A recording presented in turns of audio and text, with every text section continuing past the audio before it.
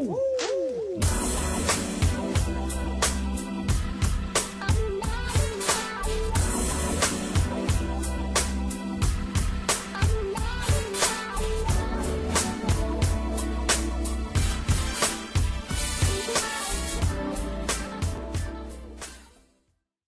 spali smo samo na tvoje papire. nema, ne, Ukinula produkcija laptop. nema laptopa, nema ničega. Ovaj, Čekaj, provalili ste šta gledaš tokom podcasta. čekaj, koja je ovo epizoda zapravo? Ne. Šta sam ja rekao na kraju prošle epizode? Ja rekao na kraju ovo je peta, bila pet. šesta. Nije, ovo je epizoda 5 ponovo. Epizoda broj 7. I ovo, i ovo je epizodi 5. Nemoj, nemoj, nemoj, pa opet ćemo sledeći put da se, to jest ja ću se pogubim opet sledeći put. Jo, je. E, ne prije mi ovi kasni sati posle celog dana Turske lige. Ovaj. Ajde izvini se svima da, da, da nisi koncentrisan danas, da si ceo dan na poslu, da E, kaži nešto. sad ćemo damo svoj maksimum ovaj, kada je koncentracija u pitanju. Hoćemo, krećemo prvi blok, Džile. E, Promenit ćemo ovog puta, Dinamiku. ne, redosled. Pa će to malo drugačije da bude. Ove, za početak, e, samo par ove, rečenica o, o, o regionalnoj ligi. Mhm. pri čemu a, vrlo glasno i jasno, bar što se mene tiče ti, ako hoćeš ti možeš da komentarišeš na, na tu temu, ali ovaj, znači a, neću, zaista nemam, nemam nikakav komentar o, o ovom a, ovome što se dešava na Skupštini i tako dalje, ono pravo ti kažem čekam da, da, da sve to počne i mislim da svi čekaju da to počne i, Apsolutno. i da, da e, igrači, da treneri, da ma svi živi, ono, navijači, u kom god obliku da se bude igralo sa, bez navijača, sa ograničenom brojem, nemam pojma više kako, nego samo da krene, prosto ono, svi, svi očekujemo i svi hoćemo, mm -hmm. gledamo po Evropi, kreću lige, znaš, onako... Dobro, ovaj neki zaključak danas je kao da kreće sve kako je dogovoreno, ali tako? dobro, nemam pre pojma, dok se Da, ne desi, ba- stvarno ne znam. Ja pra- pravo da. ti kažem, ovaj, Ma nemamo tu ni, ni, mno, ni mnogo šta da pričamo. Pa ne, ne, nis- nismo uopšte, gledali ne, te. ne, ali nemam, da, ne, da. ne, uopšte ne iznosimo ni stavove o tome ovaj, i, i, i tako dalje. Znam samo ovaj, jednu stvar da, mislim, možemo polemišemo oko toga da li ABA liga kao takva potrebna na, u ovom regionu ili nije, šta donosi, šta oduzima i tako dalje, ali znaš, mnogo, mnogo, dobar deo tih priča je već ispričan i onako ako nekom nije jasno da, da postoji i mnogo pluseva i minuseva, razumeš sad, samo da, da ljudi neki, neki, što se kaže, izvagaju i, i da se donesu odluke da se radi. Ali je generalno, naš onako, verovatno ima više ovaj benefita nego ovaj problema, ajde tako kažem, koje, koje donosi. A svega toga ne bi bilo da se počinje u decembru, ko što ja stalno pričam. Bukvalno je. Ovaj, e, počinje Evrokup i Evroliga naredne nedelje, Da. bar se nadamo da počinje, trebalo Da. bi. Ovaj, tako da najavimo odmah našim e, gledalcima i slušalcima da polako naš fokus Uvijek prebacujemo zaboravim to slušalcima, izvinjavam se, Da. stvarno ljudi. Ovaj prebacujemo fokus polako na na na evropsku košarku, na Evroligu, Evrokup i da da kažemo lokalna takmičenja. Ovaj već danas ćemo polako e, vezano kada je današnji gost u pitanju malo ćemo više da da kažemo tu bacimo akcenat na na na nešto što se tiče evropske košarke, a onda od sledeće nedelje krećemo polako sa predstavljanjima timova Pa- Partizana, Zvezde, CD Vita Olimpije, Mornara, e, ovih učesnika Da, u, u, budućnosti. u evropskim kupovima bez obzira na organizaciju koja ih ovaj organizuje, mislim pod čim okriljem se to Da. igra, je li tako? i Gokeu, da ne zaboravim. Jeste. E, ovaj, mislim, generalno predstavit ćemo te timove koji, koji ovaj, kako bih rekao, nastupaju u Evropi i ovaj, možda malo drugačije nego što su ljudi ono, ovaj, navikli, ali on, mislim da su o, o, oni koji gledaju i koji slušaju ovo, mislim da su i shvatili do sada da se mi nešto ne upuštamo u ono, ovaj, ko će, kako će, znaš, da se nešto tu daju nekakve prognoze i, i ovaj, i nemam pojma šta.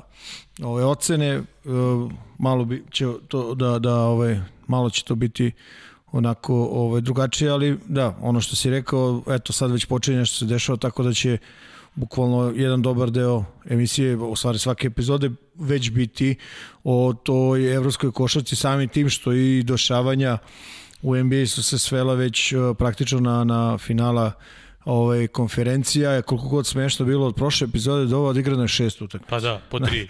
po tri ovaj, i onako Tako do, da, dosta to, dosta to moguće, brzo ide. Vrlo moguće do sledeće epizode će već krenuti finale, tako da... Pa ne, da tako to sad, datum, to sad, 30. dok zapravo počinje finale, pa da. to, je sad, to. da, ali ovaj, generalno malo ćemo da izmeštamo, znamo i, i ti i ja znamo i ovaj, znamo da ima dosta ljudi koji malo više preferiraju NBA, ovi neki malo više ovaj preferiraju evropsku košarku, tako ćemo pokušati da napravimo balans, do sada toga nije bilo, sve to nama jasno i tako dalje. A nismo imali o čemu da pričamo kad Pa se u dobro, Evropi ništa nije igralo, Pa, mislim, jasno da, ko mislim, dan. ajde prvo da počne, pa ćemo pričamo o sastavima, o tome šta, kako, šta može možda eventualno da se očekuje u odnosu na način igre, u odnosu na, na moment u kom se tim nalazi i tako dalje i tako dalje. A ove, to bi bilo otprilike to o, o tom nekom prvom delu. Ajde samo Onda da ćemo kažem... da ostavimo ovog, Da. uh, ovog, nekog mlađeg igrača, ostavit ćemo za, za posle ovog intervjua koji ćemo da uradimo ovaj, koji smo uradili, a koji ćemo pustiti da, da, ovaj, da ljudi vide i da čuju. A, Nešto ste da kažem. Htio sam da kažem ovaj, da, da, da kažemo samo da e, pomenemo da Igokea ovaj, ušla u grupnu fazu Lige šampiona, nakon ovog kvalifikacijnog turnira dobili su Kluž i ekipu Sportinga, tako da, Da. da. Igokea će igrati u grupnoj fazi Lige šampiona i da samo još pomenemo informaciju da je CD Vita Olimpija našla zamenu za Magoka Matijanga, Jero Jones je potpisan e, na, na toj da. poziciji. Smo Neko, prošli put spominjali ovog čovjeka što je došao u Zvezdu, što je, e, Emanuel Terija, jesmo. da, Pomenu- što je mm, on zaražen, nema pojma je, šta je, da. mora da pauzira na, odmah Pa da. na početku. Pa da, pa da. Eto, ovaj, da, Cedevita je dovela tog, eh, tog igrača. koji je igrao u Darušafaki prošle godine, pre toga igrao i u Karšijaki, Jeste, i u Monaku i onako jedno zavidno iskustvo. Pa ima, ima iskustvo. On je, pazi, on je drugačiji. Drugačiji igrač. tip od Mag- Jeste, Matijanga. Potpuno drugačiji On je igrač. nekad, čak možemo reći, stretch petica u nekim momentima, pogađa A za tri poena. Da, ima, i, mislim, mislim, daje potpuno drugu dimenziju napadu i odbrani. Da. Sad, ovaj, eh, nezahvalno je naravno što će, mislim, ovaj, Cedevita morati da ga, eto, praktično iznova sve to nešto da, da, da ga uvodi u sistem, verovatno će promeniti malo sistem ovaj, zbog njega, ali tako je kako je, mislim, prosto ne mogu da da, da nešto drugo urade, ovo je teška povreda ovog Da. da. Matijanga. Matijanga, a, imali su probleme s perijom, mislim da je to samo nešto privremeno, ali ono kao, kapiram, vidjet ćemo sve već sledeće nedelje u kakvim su, kako su stanju ovi naši timovi, još da ponovimo, onako, baš kao i svugde drugde ovaj, u Evropi, ne očekujem ja nikakve festivale odma ovaj, na, na početku Pa da, i evo. treba ljudima dati vremena da Apsolutno. se, da se vrate u ritam, da se vrate u, u celu tu priču, jer ovaj, igraće tu takmičarsku košarku, a u ovom, kako kažu, ovaj, novom normalnom vremenu, Aha. tako da. Ovo, evo, danas baš sam radio i Efes i Fenerbahče i Efes i dalje muči recimo da pronađe svoj šut. Tim koji je igrao onakav napad prethodne dve godine, ovaj, e, potpuno logično i oni, kad se po njima vidi da još uvek ne mogu da nađe šut, jasno je kako će sve to ići za ostale. Dobro, e, čačnuli smo taj prvi blok e, kada je evropska košarka u pitanju, drugi blok sada je red za intervju. Pa da, Znači, naš gost je bio čovek za koga možemo da kažemo da je otac skautinga u Evropi, čovek koji to je je jedna, jedna, jedna od stavki. Jeste, jedna od stavki. Hteli smo, naš, seli smo i kako da nastavimo dalje sa tim nekim ovaj, gostima i, i Mauri- Mauricio Gerardini, trenutni ovaj, generalni menadžer ovaj, Fenerbahče je nekako bio a, logično rešenje iz prostog razloga što mislim da je zaslužio a, da ga predstavimo po znacima navoda ma, onima koji možda nešto ovaj a, manje prate ta neka košarkaška ovaj Ili da kažemo neke, ili neke stvari malo dalje od terena. Da ili tako ono što da, pa eto pravo si da, da da nešto malo kao van terena pošto mislim da je to čovjek koji je dosta ovaj dosta važan sama činjenica da je uspeo da da za sebe tokom karijere veže imena kao što su Željko Obradović, Tore Messina, a, Mike D'Antoni, David Blat, a, sada Igor Kokoško, Petar Skansi, mm -hmm. znaš očigledno ovaj da postoji da da zna kako da napravi da da ovaj okruženje u klubovima gde radi bude uh, i dobra sredina i za trenere i posle toga uspešan je bio na, na velikom broju, kako bih rekao, nekih polja i Pa da, da. ne zaboravimo, On je on je prvi evropski... prvi evropski čovek koji je radio u front office-u Jeste. i to na nekoj važnoj poziciji. On je bio ono vice president Donosi- basketball operations, ali tako? Da, bio je vrlo, vrlo važan, ono ovaj, što se kaže prilikom donošenja odluka i imao je glas koji se i tekako brojao. Ja, ja sam imao sreću da Uh, moja prva sezona sa Lijetu s Ritasom, uh, bio sam trener Jonasu Valenčunasu, koga je Toronto, gde mm -hmm. Mauricio radio, ovaj, digao na draftu i onako baš smo sarađivali tokom te tokom tih godinu dana i ovaj dok je Jonas bio tu i stvarno ja mislim to je onako jasno ti je odmah iz prvog nekih kontakata, ja sam ga znao od ranije i tako sve, ovo je nešto, nismo sarađivali, ono što se kaže direktno, posle toga prosto ti postane jasno zašto je i kako sve to što je uradio u životu, ovaj, kako se to baš desilo baš njemu i definitivno, mislim, on čovjek će vidjet će ovaj, gledalci, slušalci, ovaj, on, on malo to onako, naravno da ne žele se, ne znam, hvali, ne znam da li to pravi izraz, ali prosto ovaj, eh, on shvata i s jednim delom da je bio stvarno na pravom mestu u pravo vreme, ali istine radi. Ovaj, I on je dosta kreirao da, da mu se sve to, kako bih rekao, izdešava. Ti si rekao da je otac evropskog skautinga, jeste. To je ovaj, takođe stvara, stvaralac onog ovaj čuvenog eh, Benetona. Benetona, da, koga su mnogi ljudi na ovim prostorima obožavali, ne samo zato što je Željko bio trener ili što je Rebrača igrao, Da. nego zato što su imali sjajnih igrača, Tonija Kukoča, pominjao sam Pa Sve je nekako s njima Henry bilo u redu, što se da, kaže. sve je bilo super, ono kad I- kreneš na hala Palaverde, onaj parket ko Boston Celtics i, i, I sve ove- ostalo, uvek su imali tu neku, tu neku dušu. A ove, ove poslednje godine njegov, mislim, posao na kome je sada, ovaj, sarađuje sa Željkom Obradovićem, u kome čućete i sami šta govori, čućete šta priča o Igoru, što je Da. onako, eto, ajde da ne prepričamo, nego da, da ljudi saslušaju. Da napomenemo još da je pored Toronta bi- radio i u front office Oklahoma City Thundera. Jeste, i takođe jedan je od ljudi koji je kasnije Steve Nash došao na tu neku poziciju, on je krenuo negde da polako okuplja ovu kanadsku reprezentaciju koja je vremenom počela da jače, on je negde čovek koji je pronašao uh, Andrewa Wigginsa Ja- i krenuo da ga usmerava na pravi put. Reći ti nešto, mislim, postoji tu malo dublja priča oko kanadske te košarke. Ja ću pokušati da u nekoj od nekih narednih epizoda, tako dalje, ovaj, da, da se malo više pozabavimo time i tim njihovim čuvenim planom kako da postanu košarkaška nacija broj 1 i ovaj načinom rada federacije i načinom rada uopšte sa igračima, kako je to sve ustrojeno, ovaj kako razmišljaju vrlo vrlo zanimljivo i deo te cele priče je naravno Gerardini čovjek koji je počeo ovaj Basketball Without Borders mm -hmm. koji je počeo taj čuveni Eurocamp, Eurocamp zajedno ili Don, sa Donijem Nelsonom evropski Portsmouth, da. znaš što, e, evropski Portsmouth, ali ponavljam, sve je čovjek to da. ispričao, pa da ovaj, neka to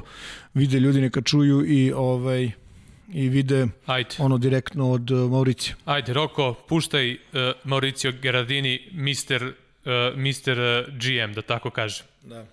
Okay. Mauricio, thanks mm -hmm. for uh, accepting our invitation. And that means a lot to us because, you know, for us, and we'll talk about it in, in this, in this, call it interior or as you like. Uh, we believe, both of us, we believe that you're one of the most important basketball persons in uh, in the last 30 years. Can I say that? Father of European scouting. even, even your name sounds sounds right, man. You're Gerardini Maurizio, meaning GM. Yeah, right. so, so like when you Google GM European basketball, it's your picture right there on the top. Welcome, Maurizio. How are you? Thank you. Thank you for having me. No, things are good. Just um, you know, getting ready for the start of the season. You know, we're we're gonna start the Turkish league on on Saturday, so tomorrow, and uh, and again, we just hope that uh, we go through the season. You know, that's the main goal. You know, whether it's the Turkish league or the Euro league, we want to play basketball. You know, that's uh, that that is becoming, uh, let's say, uh, a much felt need. You know, to finally play some uh, some real competition, even if the atmosphere is going to be very awkward. Is going to be different. You know, yes, it's. I mean, we on the other hand, we need to get used to it, you know, and and hope uh, for better times as the season progresses, you know. But right now, it is what it is, and we must be ready to to to start playing, you know. Uh, media already have a new term, new normal.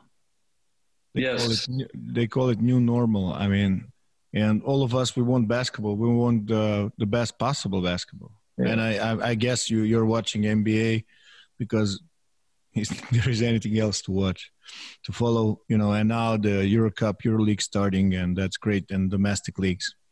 But let me start. I will go back a little bit. So you're basically a guy building systems around you. So you did that with Forley. You did it in Benetton, Treviso. Honestly, I, I believe that you were big part on Raptors during your time. And now I believe that you're a very important part of Fenerbahce organization. Don't forget the Canadian national team And also. that's that's uh, that's That's the other question. That's a dessert. Come on. so, tell us how it started. How we started getting involved in all this? Yeah, yeah, Well, you know, I think uh, sometimes in life, as we all know, it's a matter of uh, uh, opportunities, timing, and beside what is the passion, you know, that drives you to to try to live, you know, your love for the game or your love for whatever you like in life. And uh, I think I somehow I was very very lucky because. Um, uh, you know, it started from uh, deciding to uh, accept, a, you know, the challenge of try to win a, a scholarship to go to the states, and and uh, and then uh, and at the end of the process, winning this scholarship because my family was a was a poor family, and uh, but going to the states at, at that time, we're talking about 50 years ago, was uh, was not that simple. But it gave me a tool, the the, the English knowledge that uh, it was extremely important to have once I came back to Italy, you know, and uh, that was the the first important step because, uh, as I said, coincidence. At the same time, the team, my hometown team for Lee, was picked up by the federation as one of the first teams to form the A2. And uh, that was the beginning of A2. And, and the question was, no- and now, how are we going to get the American player because the foreign player? Because there was only one Yeah, yeah, foreigner allowed. Allowed it. and uh, and the question was who's going to do it? How we're going to do it? And someone told someone i'll say do you know there is one guy who just came back from high school in the us he speaks english he can help us. And he's a you know he's a basketball let's say low level player but he's in love with basketball he's yeah, he, maybe he can give us a hand. And that's uh, that's how everything got started actually. And uh, that was the beginning of everything. The opportunity that i had to start helping my hometown team and uh, Yeah, that was that's. and that was the beginning. That was the beginning of uh, you know of a long story. I would have never thought that uh, at that time that i would be here today you know uh, when when my hometown team made me gm after a few years i thought okay i'm the youngest gm in the italian league but maybe it's, 20, you were 28, am I right? You were like 28 or something? 20 i was 26 26. because right. this year this year marks my 40th season Okay. as a let's say as a GM or something close to it. But uh, um, this is that was 1981 when I started GM as my uh, you know hometown team, and that was that was the beginning of everything, you know. And uh, And after that, Benetton Treviso, but not the Benetton Treviso we all know about. Basically, you build it. Well, you know, I I was blessed by the opportunity, but also by the fact to have something that I thought very very few situations in Europe had, which is an incredible support from an ownership group from the Benetton family on one hand, Yep. and a, a sports structure that at the time no one had in Europe because there was no place such La Girada anywhere in Europe. Now you can, now you have a few amazing places because, uh, you know, the facility in Madrid or in Valencia or yeah, or yeah. Villeurbanne or whatever. You know, they're great places, but at that time, there was no place like the like La Guirada, and Yeah, uh, probably the only place in Europe. yes, I would As say as I that. know. I would say As that. far as. I know. Like a basketball facility, that was the first one. Yes, and that was, uh, you know, basically my job was just to, you know, try to use it the best possible way, and that, and that was outside. Let's say the managing a club was also trying to create and manage events that could have made Girada as a visiting card of the, you know, Benetton club, and try to you know, uh, have the rest of the basketball community focusing on Treviso and us uh, somehow having an unbelievable recruiting, you know, tool to try to go after the young talent that we wanted Yeah. to go after to to try to build what you said before, you know, different chemistry, different, uh, you know, groups that could have uh, could have been successful. You know, so Yeah, but Maurizio, if we want to be honest, at the same time you're managing the team, you're starting to create uh, the first and probably the, the the most important network in uh, in Europe. Today we call it scouting. Back in the days, it was getting informations, getting know people, connecting people, you know, collecting information about players, different levels, different backgrounds because I know because you know I was uh, I was fully aware what's going on in in in, in Treviso, and I was like, yeah, that's that's what we need basically, and that's great for that club. At the same time, now you're talking about, and I will say it loud, now you're talking about um, the camp that you have for the young players that you started. After that, uh, it was. Uh, Eurocamp. Eurocamp. yeah in eurocamp Treviso. yeah Mhm. eurocamp in Treviso. so like so many things that you actually started in europe i understand you were you, you like to use the word lucky but i'm not sure it's pure luck Um, again, um, having a, a, the scenario that I describe you, you know, in terms of ownership group and, and facilities helps a lot uh, developing ideas. Then, uh, if you are lucky enough to have, you know, good network of you know people who have ideas or can share ideas, that makes things easier. You know, I remember for example, when uh, uh, sitting down with Donnie Nelson, we start talking at you know about uh, what uh, Pete Newell was doing uh, at, at you know at the Hawaii's in terms of the you know the big man camp and yeah invitational camp Yes, and we and we and we we start talking. Hey, you know why why don't we try to put something like this together? And uh, and and at Pete Newell's camp, the the number one, let's say, guy on the court demonstrating and building the players at that time was Kiki Vanderweg, and. Uh, and I would have never thought that when we contact Kiki, Kiki would have said, "Hey, I'm coming to Treviso and help you out."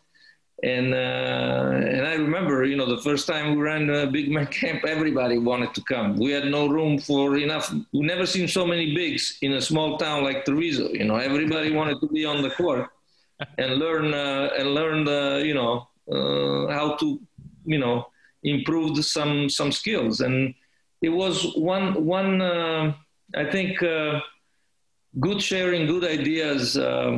Eurocamp uh, came as a consequence of, of the big man camp, just trying to, um, you know, work on every position, not just on, on the bigs, make it open to everybody, but at the same time, create the best um, exposure, uh, Exposure, camp um, for everybody because in a very natural way, it turned it turned into an event that uh, was bringing together all the NBA clubs, all the you know the GMs in Europe, all the agents, all the media guys. I mean, it became uh, like a, a, starting point of the new season somehow because it also affected the draft process and absolutely you know it's um, something European that I Portsmouth. think, huh?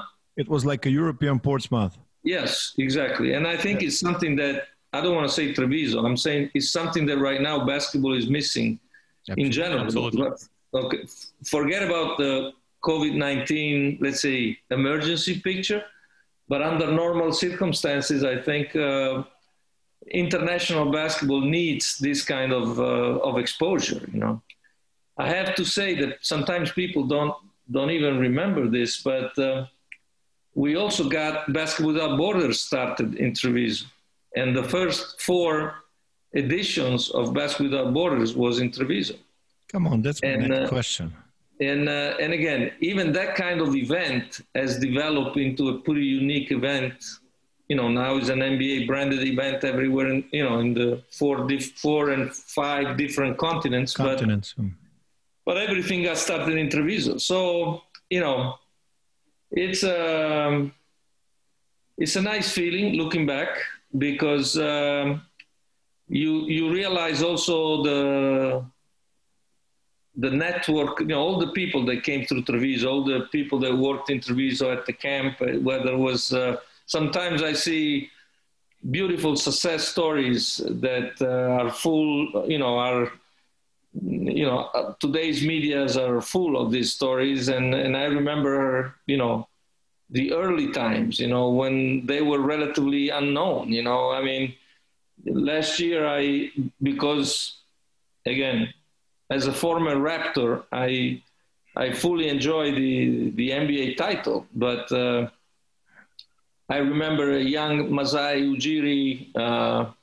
stepping in at the first edition of the Eurocamp, looking for you know uh, contacts to start his amazing career, just like uh, yeah. just like I remember. hello.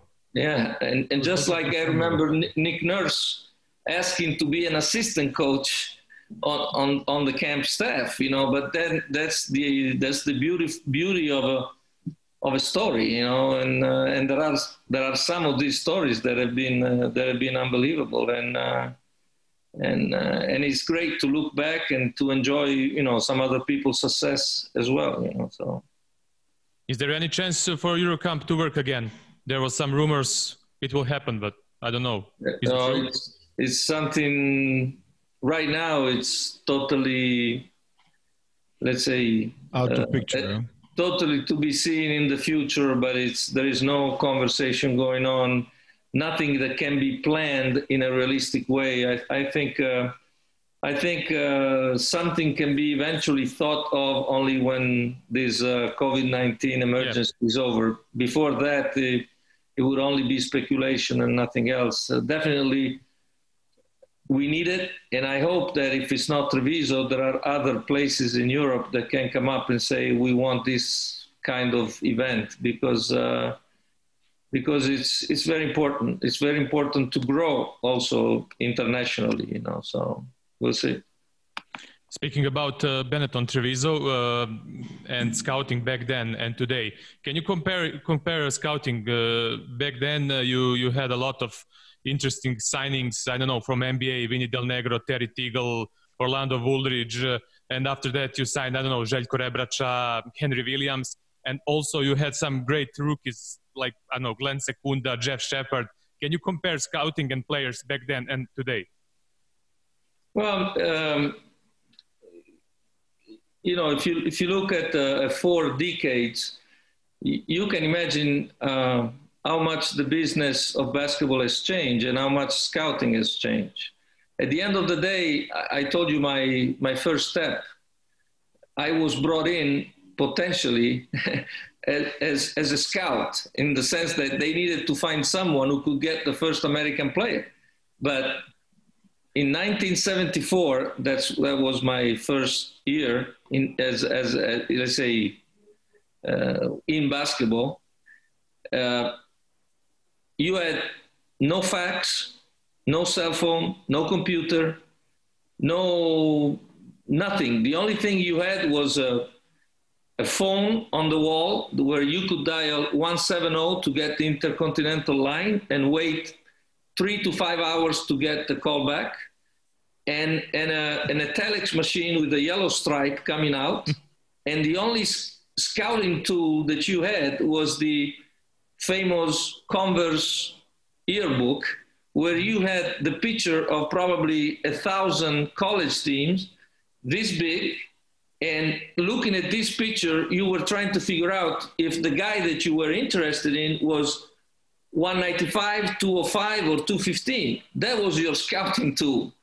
so you can imagine how this whole this whole process has dramatically changed through the years. Um, even the 20 years ago, you know, when you mentioned the players that you mentioned, um, scouting. I forgot, I forgot Toni Kukoc. well, Tony Kukoc, you left him for the last dance. It's something different, you know. But yeah. but but um, um, 20 years ago, still you didn't have what you have today. Today, today you can find out just about anything about a player. Today you can get games, uh, you can get uh, uh, all sorts of stats. You know, it's a very sophisticated process that was not available even 20 years ago. I still believe that in scouting there are elements that cannot fully perceived just from videos and numbers. But that's another story.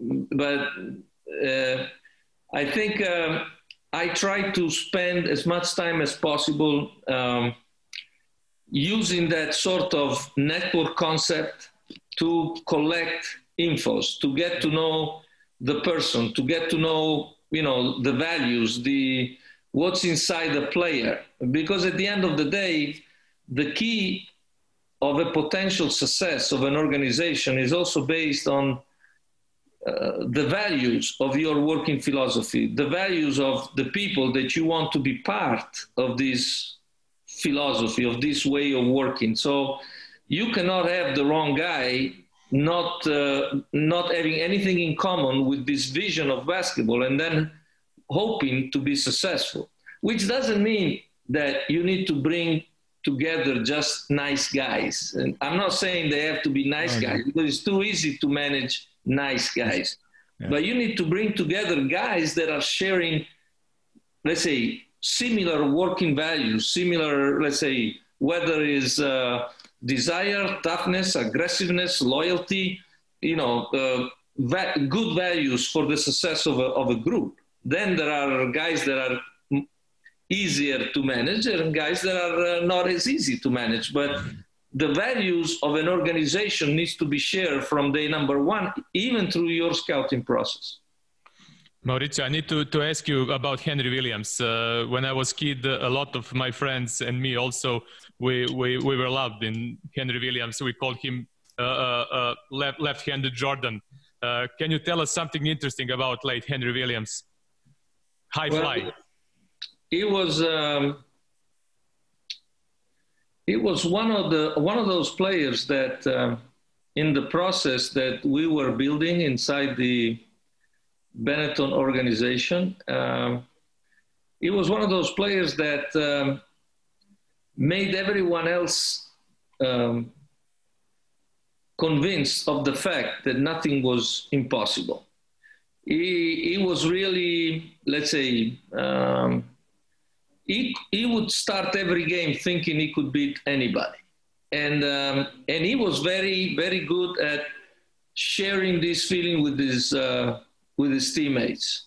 He was very, very good at, uh, you know, uh, saying the right word, whether it was uh, before the game or after the game. He was uh, as good in the locker room as he was good on, you know, on the, on the floor.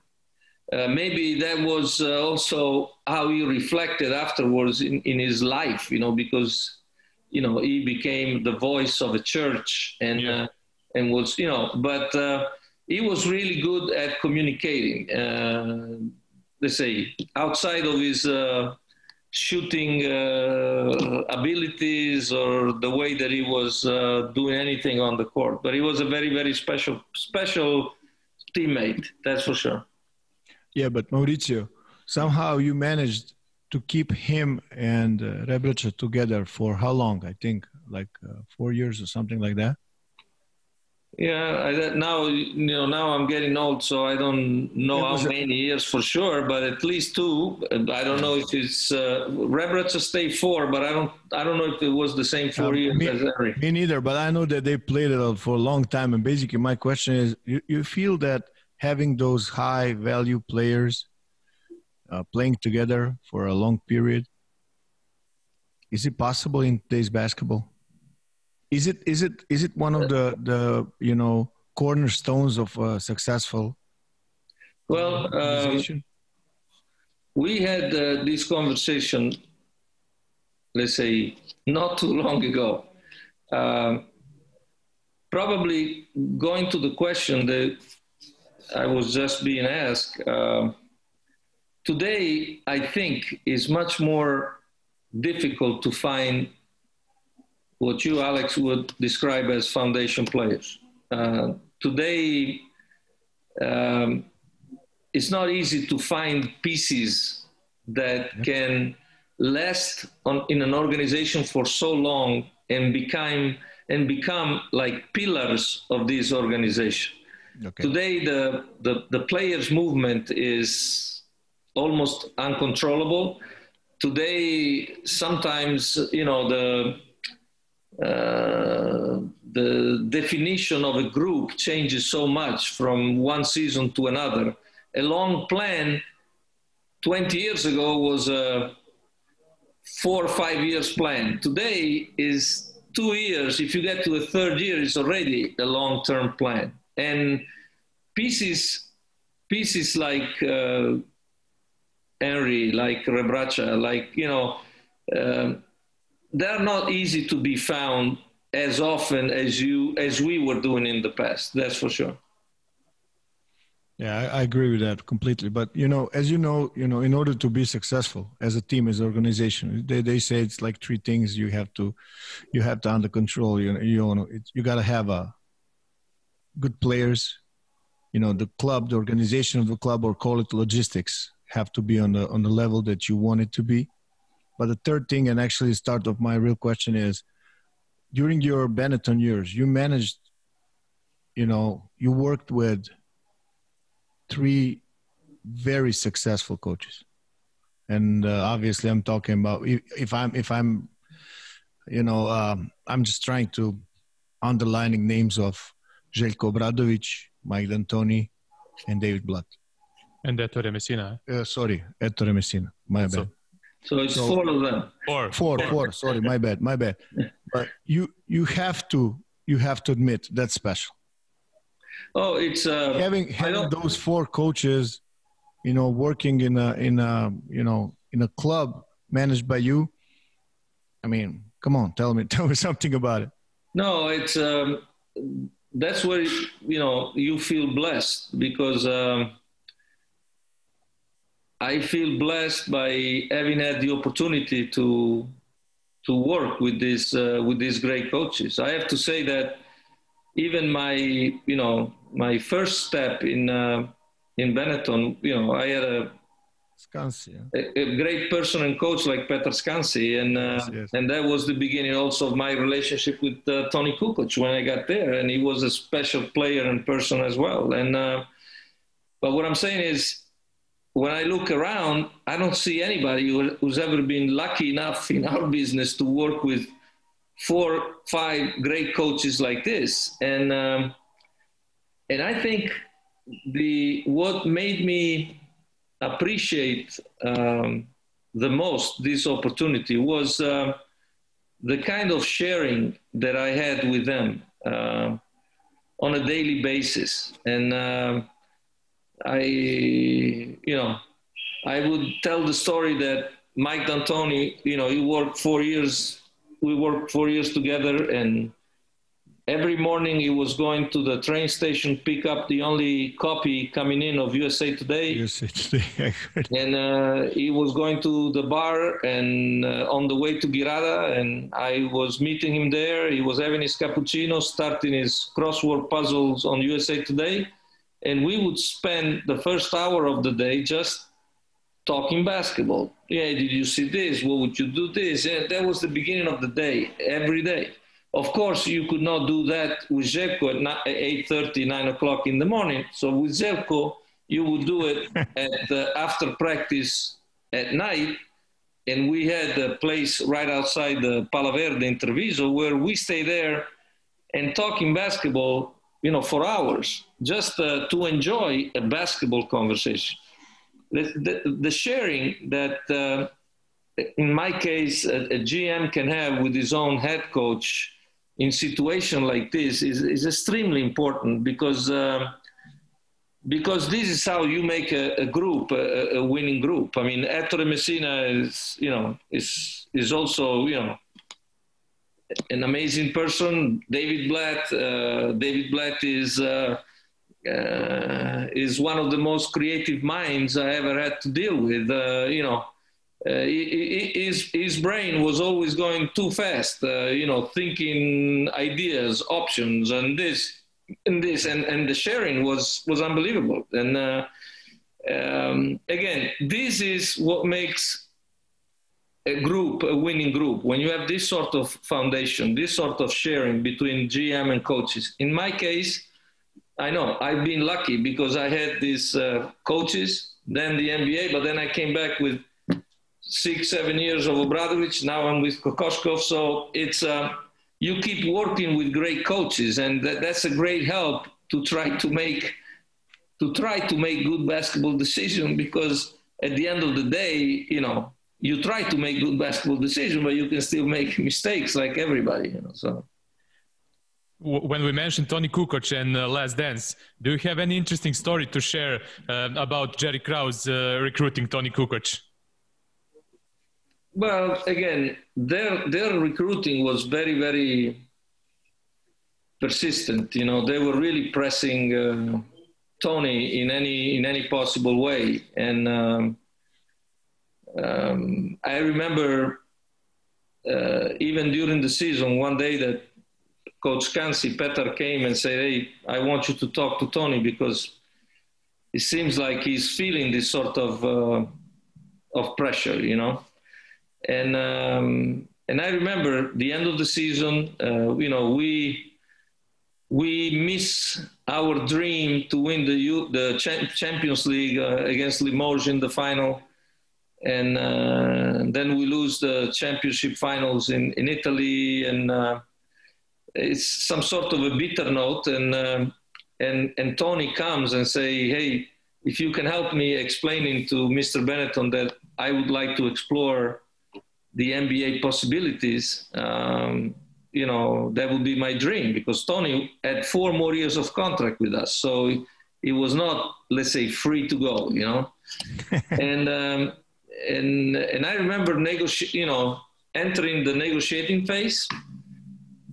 And I think the most interesting, funny story for me was uh, when I got to the final stage of all this story at Berto Center and uh, and uh, getting close to finalizing writing, you know, the the conclusion of the negotiation and everything. That Jerry Krause told me, "Hey Mauricio, why don't you come with me because I want to share, you know."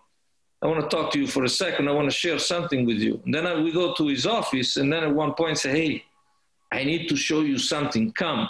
And he opens a back door in his office. So I'm I'm I'm expecting I don't know. I mean, some amazing basketball tool or uh, I don't know videos or something. No, we go in the back, and he opens one cupboard, and he had an amazing pizza right there, and we share and we shared the pizza. So that was the sharing moment with Jerry Krause. And uh, again, that's uh, he understand the importance of good food. yeah, famous, no, sure, famous, sure. famous Chicago slice. yeah, he, he, knew that for sure. He knew that for sure. So. But let me let me ask you something else. What are you doing when you're not being on the same page with the coach? Which, which is normal. I mean, no, it's very. It happens, and it's, it happens. It's, it's, almost like a daily dynamic. I, I think. Uh, I think it's very important to to keep sharing. What I'm saying is, I don't want to agree if I don't agree. If I don't think it's a it's a good idea, but I think it's very important that he knows how I feel and why I don't think it's a good idea. But at the end of the day, okay, he is the driver of the car. And for example, technically speaking, I don't have the same, let's say, knowledge of ability to have the same answers that he is collecting. But it's important that he knows why I don't agree or why I have some doubts. The same way that he should tell me if uh, if there is something in the administration of the club that it, it really doesn't agree on. Um, I have to say that, uh, like you, like you, like you said, there are moments that you you don't agree, that, that don't agree. I mean, not that you're fighting, but you have a different, uh, a different vision. Yeah. Again, I don't like to be the kind of guy that uh, then goes, "Hey, I told you, I told you." I mean, that doesn't help. Uh, it's very important to maybe spend an extra day of uh, confrontation. Maybe go as deep as you you know as you can in why are we making this decision? Are you really sure? I don't see this happening. Do you see these stats? Sometimes, you know, in conversation with my coaches, I understood that I don't have their technical knowledge. Still, maybe I would surprise them with uh, some stats that I worked on overnight, and I put together a diagrams or something to make my point, but not to force them to change their idea, but to understand that they could look at the question from a different from a different angle. You know, but uh, it's very important to share your doubts because. Um, it's impossible to know all the answers. This is totally impossible. I that's the thing that scares me most is when I meet somebody who thinks he has all the answers. and um, I remember telling one coach, you know, um, some, something similar because I was telling, hey, uh, I talked to this coach and he gets 10% of 10% of my suggestion the other coach 50 or this other coach 100 but it's impossible i talk to you you never have one doubt and you always know the answer this is not possible not even the greatest coach has all the answers so after all your experience in Europe, uh, what is the, the biggest thing to, to adjust uh, when you go to the NBA, to the Toronto Raptors? Well, it, it's a different world. It's a different. Uh, it's a different concept of uh, work on the court and off the court. Off the I court, think, especially, yeah. Yeah, and I think uh, it's an adjusting process that takes takes some time. And uh, for us as managers, the biggest adjustment is understanding that uh, it's a commercial league, understanding that uh, at the end of the day, everything needs to function within the concept of a commercial league. So, okay, there is one guy, one owner smoking a cigar, but 29 other owners are celebrating the good work of a league that is successful. Uh, in international basketball, it's a different concept. It's a different uh, adrenalinic approach to every game because every game could mean uh, a lot for a result that at the end of the season it could put you down to second division and you could uh, eventually miss on sponsorship ticketing. It could be a financial disaster. Yeah. so every game becomes a game that you must win at all costs since week number one. It's a different you know it's a um, it's a different way of living these two realities the commercial league and the let's say international concept of you know playing the game with promotions and relegation and you know um, it's two, di- two different concepts. And uh, the one thing that i think it's i like more in the nba is the fact that all the rules are in one book and the one book is very very clear. So everybody knows exactly yeah no what is going to happen what is what is good, what is bad, what the penalty is. Uh, everything is clear. There are no compromises. Everything, whoever wants to play the game knows that these are the rules. Yeah, follow the rules. Follow the rules. In, in, in international basketball, I don't want to say European level or domestic league level, eh? Too many times there are uh, shortcuts. New, new, new chapters. Right. New chapters of the book. and compromises and everything. So that's, uh, that's something that, if possible, I would love to have this same book of rules that I had on my table in Toronto, and I and I and I said every the success of an organization is having a book. I mean, having rules that are very very clear and and are not open to any sort of interpretation. But that's another level of uh, understanding. This is a professional sport. Am I right? Yes. No, it's a different different. It's a different concept. You you have been in the NBA. You know how different. Uh, you know the uh, there are pro and contras. I mean, we're all basketball lovers, so we like it. Uh, we like it. Uh, let's say on both sides of the oceans. But uh, international basketball brings a, a, different kind of basketball approach and, and, different emotions compared to the emotion that also the NBA is bringing to yeah. to to the game. But in terms of let's say the business of basketball, how the basketball organization is run, it's almost impossible to, to make a confrontation because the dimensions are just uncomparable. The dimension of, uh, you know, you're talking about uh, franchises that are valued average now $2 billion. $2 billion, yeah. Yeah, you know, I mean, how can you make comparison? You're talking about uh, uh, an operational staff, not just the technical part of uh, 200 people. 200. You're talking about 20,000 people, 44, 40, 44, 41 games every, you know, every season. I mean, it's a, it's a different, different size of operation, different, you know, different business. But that doesn't mean that uh, we don't have our, let's say, enjoyment by living on this side of the ocean and going through the emotion of international basketball and and trying to make our basketball as as as attractive as possible because uh, that's what we're trying to do. We want uh, EuroLeague to become you know better and better. We want our domestic leagues to become more and more attractive. It's uh, because we're basketball lovers. Very very yeah. simple. But we we would agree you know, question about which approach is uh, healthier, but we'll leave that for another times. Let me ask, yeah, let me ask you. You mentioned EuroLeague. So, what is the next step for EuroLeague? Is this the system that is the best possible? I'm not talking about Corona. I'm not talking about this situation. I'm talking about the number of uh, teams, the number of games, the system, well, you know, uh, still having a Final Four, meaning that I think, uh, um, the whole season it, comes to end to, in two games.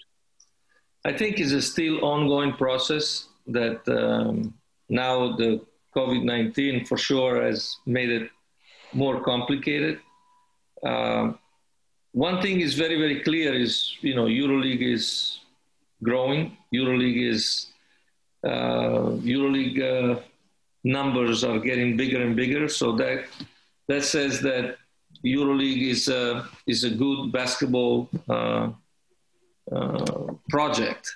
Uh, the only thing that I that I that I that I believe is uh, to be considered, in my opinion, is if we want to have a real, let's say, even more success and more of, of, of, of a concrete future, we need to understand that it's very, very important to make our business of basketball much more sustainable than what it is today. What I'm saying is clubs needs, needs to work very, very hard to make basketball a more sustainable organization. Every competition we play in general. Because um, that's i think um, something that we need to take from the commercial league example, which is, you know, our reality, our basketball realities cannot be just realities because one person wakes up one morning and decide to give you 10 million euros. Spend some money, have, yeah. Yeah. There has to be a plan. There has to be an organization. There has to be the the the structure, the cells, the the basketball team around the community. There has to be the ticketing value of a you know of, of you know of, a, of an office that is working to sell tickets. Uh, media, same thing. What I'm the the clubs need to find more uh, ways to increase the revenue streams Absolutely. to have more more sustainable product product and and again that also goes through ideas that are ideas that are keeping the commercial league in in let's say on their feet and I'm not talking about basketball. I'm talking about football. I'm talking about baseball, hockey, whatever. Ma- which is ma- major sports, yeah. major sports. They're staying. They're staying uh, on their feet because at the end of the day, they spend the money that they produce.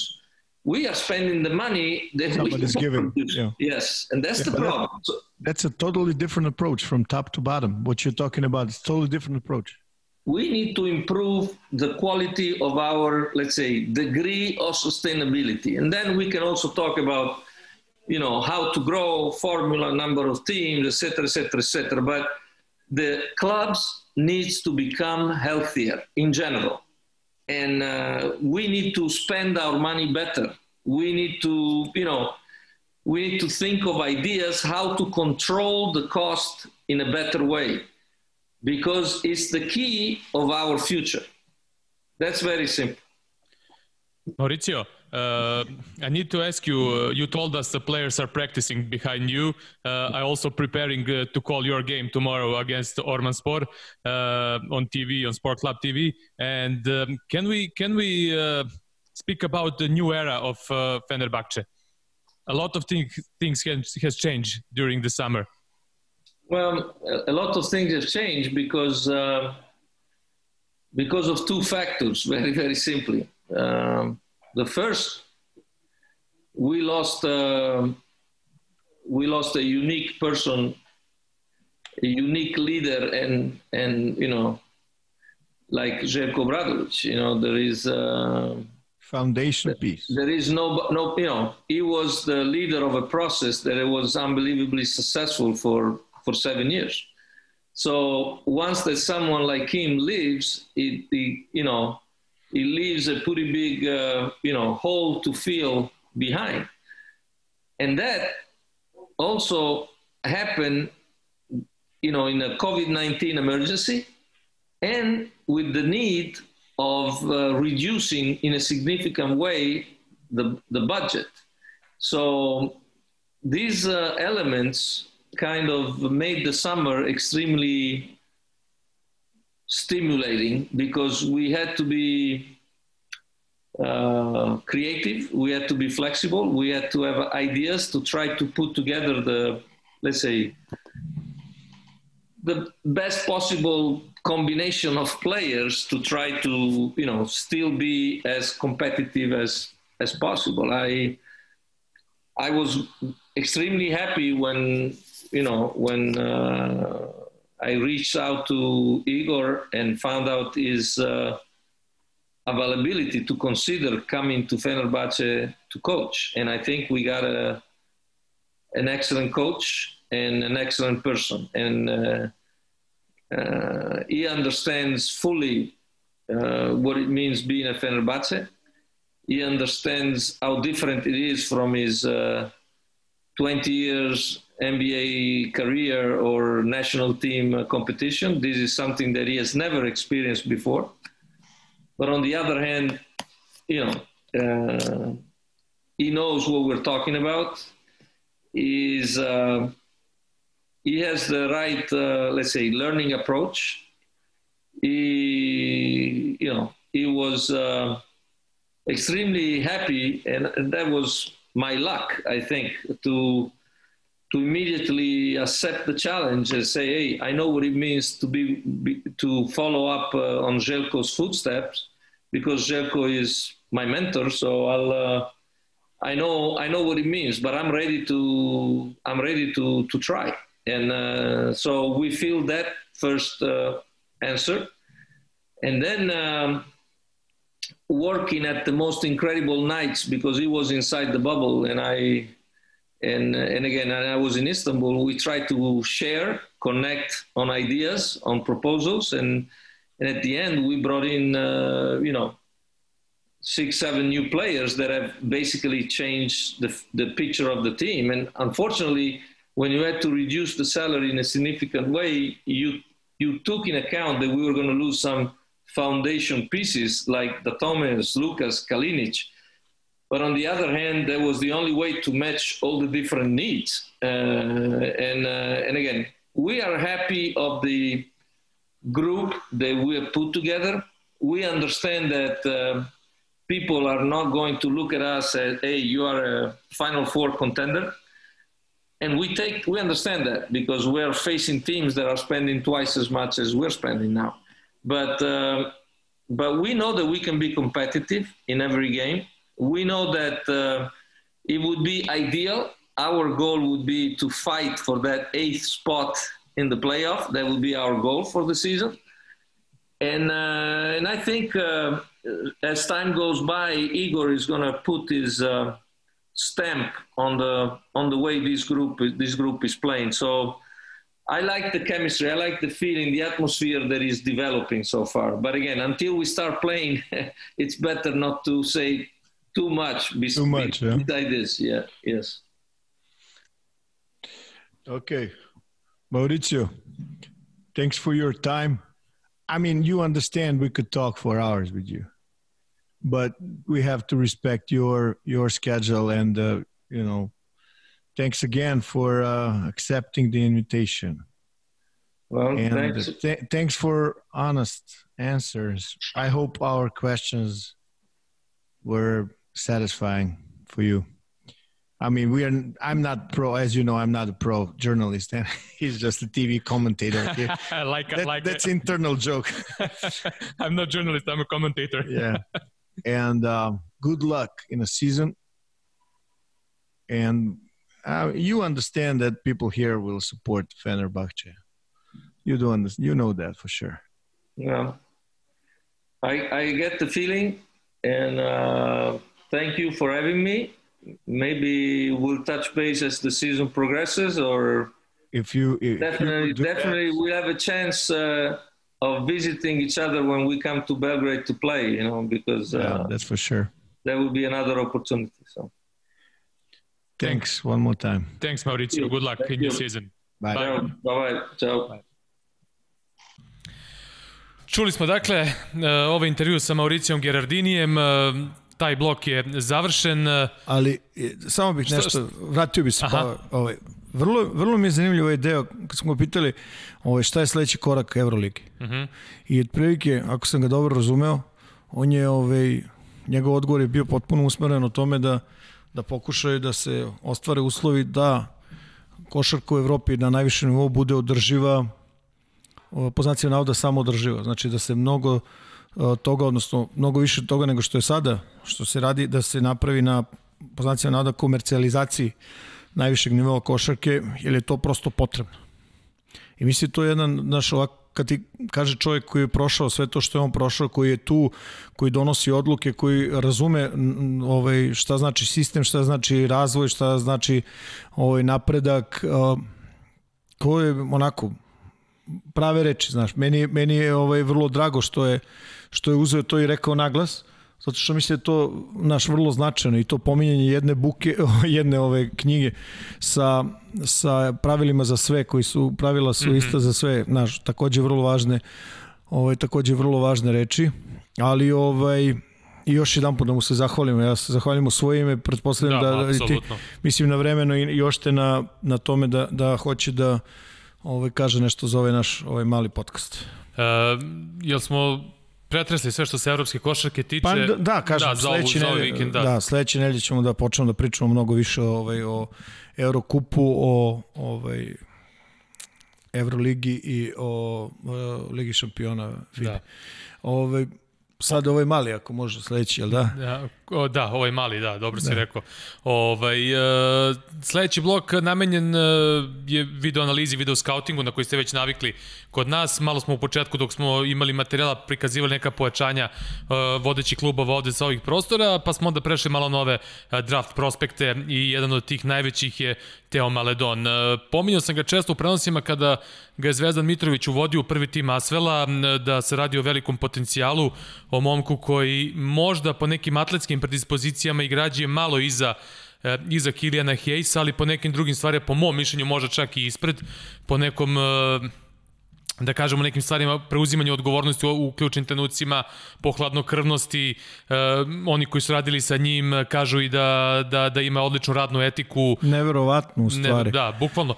Čak e, pričajući, pričajući i sa, i sa ovaj, Zvezdanom i sa Mirkom koji su ga trenirali da. negde ga porede ga negde i sa Dimitrisom Diamantidisom. Ne ono u smislu kao igra isto kod Dimitris Diamantidis, nego da ima neke, neke stvari slične njemu. Pa vidi, iz prve ruke, znači istih ljudi koje spomenuo Zvezdana Mitrović i Mirko Cokoljića, pozdravljamo ovaj, ovom puta. Ako nas gledaju, Ove, pozdrava. A, da. nadam se da gledaju. Pa de gledaju.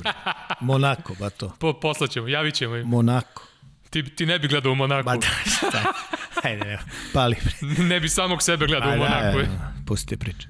Ovaj, ali, znaš, uh, prvo, jedan uh, momak koji je potpuno posvećen. Mm -hmm. Posvećen košarci, spreman da radi, puno radi, ispravno radi, bukvalno citiram njegove trenere, znaš, mm -hmm. brzo uči i ne ponavlja greške, to je ekstremno da, važno. Da, to, to su istikli, da. I na sledećem, znaš, Jednom mu korak, kažeš, naučio je već. Na sledećem koraku, pff, mnogo važno, znači, pričali smo već o tome, mladi igrač kada se nađe u novoj sredini, gde je to ipak, i dalje je to ovaj, drugačija kultura, što bi se reklo, gde pod kultura podrazumeva mnogo toga vezanog i za društveni i socijalni život i naravno za košarku. Ovaj, Maledon je slično Hejsu, oni su istog, isti godina, vrlo slične, kako bih rekao, formacijske neke neke ovaj određenosti to je playmaker takođe isto kao Hayes igrač sa puno lopte u svojim rukama, ali recimo ja bih napravio malo paralelu sa Avdijom, pošto smo pričali recimo Avdije i, i ovaj Maledon, to su igrači koji su, kako bih rekao, proveravali su se na, na nivou Euroligi. Uh mhm. -huh. I ovaj, možda nisu bili za svoju ekipu toliko važni koliko je bio Hayes, kroz koga igra veliki deo ovaj, uh, ofanzivnog sistema ekipe Ulma, ali zaista ovaj, recimo Maledon je dobio priliku I, če, I često je bio do, na parketu kad se lomila utakmica i u Evrokupu i u Euroligi i u play-offu Francuskog. Tako je, prasa. znači ono dve poslednje sezone stvarno je onako baš su baš su ga pogurali i mislim da se to isplatilo. Ovaj da je to jedan projekat tima uh, potvrđuje činjenica da je da je sad u Americi nije sa timom, nije sprema sa timom, se za da. draft. Uh, navodno je radio najviše na na svom telu. Ovaj uh, ako postoji nešto što bih voleo da pokuša da promeni, recimo to je, što se mene tiče, to bi bila verovatno neka agresivnost i brzina u kojoj igra. Uh mhm. -huh. Znači intenzitet koji igra. Slično kao Killian Hayes, ti vidiš da on može da igra brže, ali iz nekog razloga igra u nekom svojoj komfortnoj zoni i mislim da će to da se promeni, da je to navika koja se menja, ne sporo i ne preko noći, ali obojice imaju taj neki potencijal uh, gde je Maledon, mislim da je bolji šuter od uh, Mislim da je bolji šuter od Hejsa. Da, čisti šuter. I, ovaj, I ono što je meni vrlo važno, kako bih rekao, trenerski, uh, njegove, njegov, njegov rad nogu, znaš, taj futbolk je mnogo, mnogo čistiji, mnogo određeniji od, od Hejsa. Takođe pregled igle, volja da se doda lopta. Uh, da, treba će da promenite neke završnice koje neće moći da, da koristi na, na sledećem nivou, ali naš obojica su mladi i ono kapiram da da će tu nešto da da, da se ovaj pomeren pomere napred. I ono što je vrlo zanimljivo, znaš, ovaj dva momka iste generacije iz iste zemlje dolaze, ovaj kao e, obojice imaju taj takozvani niski niski šut, početna uh, pozicija Počet šuta tačka, je da. je početna tačka šuta je ovaj uh, dosta nisko i vidjet ćemo neke sličnosti obučenosti prilikom ove igre u pick and rollu i tako dalje. Evo ne pogledaju ljudi, da. pa, Ver, pa nek Verujem da i Tony Parker dosta učestvovao ovaj, u nekim savetima i to Ovaj, tako da sigurno da imao i, i još jednog dobrog savjetnika. Ovaj, pravo, pravo pred... da ti kažem, ne znam, ali ti pa, verovatno znaš bolje. Pa ne, nego pretpostavljam. Da. Pretpostavljam da, mislim, ipak im je projekat. Pa jeste. Zaradit će na njemu, mislim. Hoće. Ovaj, Ni, a, nije ovaj to klasični onaj kod njih tamo sportski sektor i ono drugo. Mislim da je predsednik u sportskom sektoru. da, I mislim nešto da se razume u košarku valjda, je li tako? da, pa je. Igrao je nešto. Na Nešto je, nekom ne, nivou. Jeste. Imao je nekih rezultata. Ajde, pusti. Ajmo da gledamo Teja Maledona.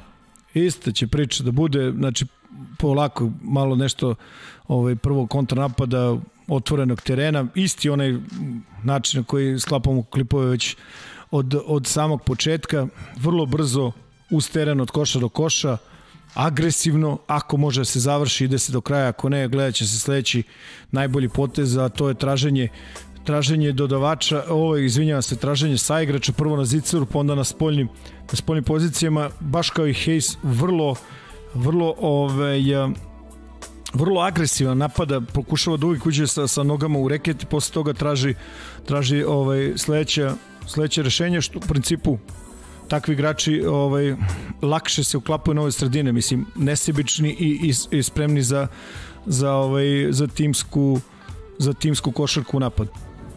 O, ovde ono i dalje segment iz iz tog iz tog iz te neke faze pre nego što je odbrana pre nego što je odbrana ovaj postavljena prodor, taj neki šut iz mesta. Ovo je recimo razlika između njega i Hesa. Vrlo dobro, evo, brate pažnju i u nastavku klipova i sa loptom i bez lopte, rad nogu, ovaj, rad nogu prilikom šutiranja. Znači, pick and rollovi na početku, prodor do kraja. Vrlo verovatno, vrlo verovatno može se desiti da, da ga i ovaj brani ispod, međutim, vidite, i za to je i za to onako kako bih rekao ima ima ovaj rešenja. Ovo su prva 3-4 klipa su prodori do kraja, kažem, završnice mogu da budu bolje, ponekad uđe previše duboko, ja mislim to je jedan od slučajeva i još uvek tu nema nema eksplozivnosti i spremnosti da se krene, ali vidio ta, obratite pažnju na, na moment ta, te zadrške u driblingu kada izlazi iz pika ovde, ono, prodorno Tavaresa, to je vrlo jedan hrabar potez, odmah ti kaže. Ovaj, od pika voli da udari taj takozvani reject, reject onako da. da da ide od, od, od ovoga i onak još jedan što bi se reklo ono pick and roll pick and roll ovaj, uh, paket normalno treba će rutine i treba će ovde da se odradi u, kada se ide ispod kada se baš odradi da ide ispod znači da očisti malo taj ovaj, ulaske u šuteve ali generalno je to, to u redu ovde vidimo ovde Bolmara mislim da je vrlo, vrlo labavo na njega i on to, on to generalno on to generalno dobro koristi, ne žuri, strpljiv je. E, ja bih čak volio da je malo agresivniji, pravo da ti kažem ono što sam ti rekao, ali ovaj, to je u redu. Naročito ovaj šut iz, iz, iz levog driblinga pogledao sa tim laganim, kratkim ovaj, naskokom u jedan kontakt, gore se izlači, ja mislim da je to skroz u redu i namerno sam ostavio različite uglove pod kojima na ulazi različita zaustavljanja. polu distanca, čista, ove vrlo, vrlo o, insistira na ovom stvarivanju kontakta sa odbranim igračem koji ako je blizu voli taj takozvani hostage dribbling, je li tako, ovaj pa nije, ostaje na leđima. Pa vidi da ti kažem, to je to je ovaj takozvani snake dribble, A mislim snake na, i ova i ovaj snake, hostage isto. Pa da, kao telom ga igra i to je u redu ako, ako te poštuju i ako imaš snage da istrpiš taj kontakt, ovde u ovim primjerima koje smo ostavili, to je sve okej. Okay. Ovaj, ali još, mislim, ponavljam, naš, sve ovo što vidiš, to se, baš se vidi da je rađeno i ovaj, baš se vidi da je rađeno ta zaustavljena pred šut su vrlo čist. 3-4 klipa protiv agresivne odbrane, bez ikakve dileme i, i, i neke ove, filozofije pas na rolera, na kratki rol, ovaj, dalje u igrači kako urade, šta već urade, ali on svoj posao uradi, napravi višak i ostaje na ostat, mislim ostaje na, na saigračima da to pokušaju da da ovaj kažnjavaju. A, prva ideja je roller, i on tu voli da ode uh, duboko, ali nekako nađe, nađe, ovaj, nađe ta neka rešenja. Tu uvek nešto izgleda ovaj, kao da, da neka muka, međutim, mnogo češće ovaj, on to završi nego što uđe u realan problem. Znaš, evo opet ovo, ovde ostaje, kako zove, Larkina na, na, na, na leđima, da, ovde igra protiv ovog Micića, uvodi ga u pik iz dva puta, tri puta i naš na prodoru kraja, prati ga ovaj, petica i to je sve stvarno, ovaj, mislim da je to ovaj, dosta kvalitetno. Vidi prvi pas, pomoć sa prvog pasa može da uradi, ovde vidi drugo dodavanje. Znači ovde preskače igrača na kecu da bi napravio, da bi ubrzao, ovaj, otežao tu rotaciju Počeano i Žalgirisa. izvanredno. Znaš, ovo su stvari koje ti kaže treneri, ti ih radiš, ali znaš, trebuješ svestan toga. Prva dodavanje opet, ali na strani, na strani pomoći i sad mislim da, da počinju uglovi. Ove, prodor, da, i po, dodavanje uglove. Ove, pravi višak i, i ima, ima kontrolu ugla i to, i to vrlo dobro. Baš kao i Hayes prošle nedelje koje su prikazivali, dovoljno su visoki obojice dugački da mogu da igraju da mogu da igraju ovaj, da vide preko odbrane i opet ta zadrška koju sam ti pričao daje mu vremena da daje njemu vremena sačeka centra koji rola i ovaj otvara mu još jedno rešenje onako menja potpuno menja potpuno odbranu za razliku recimo od Hejsa naš ponekad i učestvuje startne te neki rasporedi su ovaj šut uh, počinju iz dvojke. Ovo je ono što ostavio sam opet namerno bacanje ovaj deo šutu opet je to sve nisko, ali kažem ti, vidi, kad ima vremena, kad ga ostave, to je mehanika je u redu, on je u ravnoteži, ruka ide do kraja, ovaj, čak taj sam šut u završnici nije, nije prenezak, međutim start jeste. E sad, ovaj, ja, pravo ti kažem, ja to ne bi dirao, ovaj, ne znam da li, da li uopšte, da li uopšte to treba popravljati, ne treba popravljati. Ovaj, iz mesta je to sasvim, sasvim prirodno, ovaj, sasvim pristojno. O, iz driblinga, naravno taj njegov mid range je ovaj, dobar.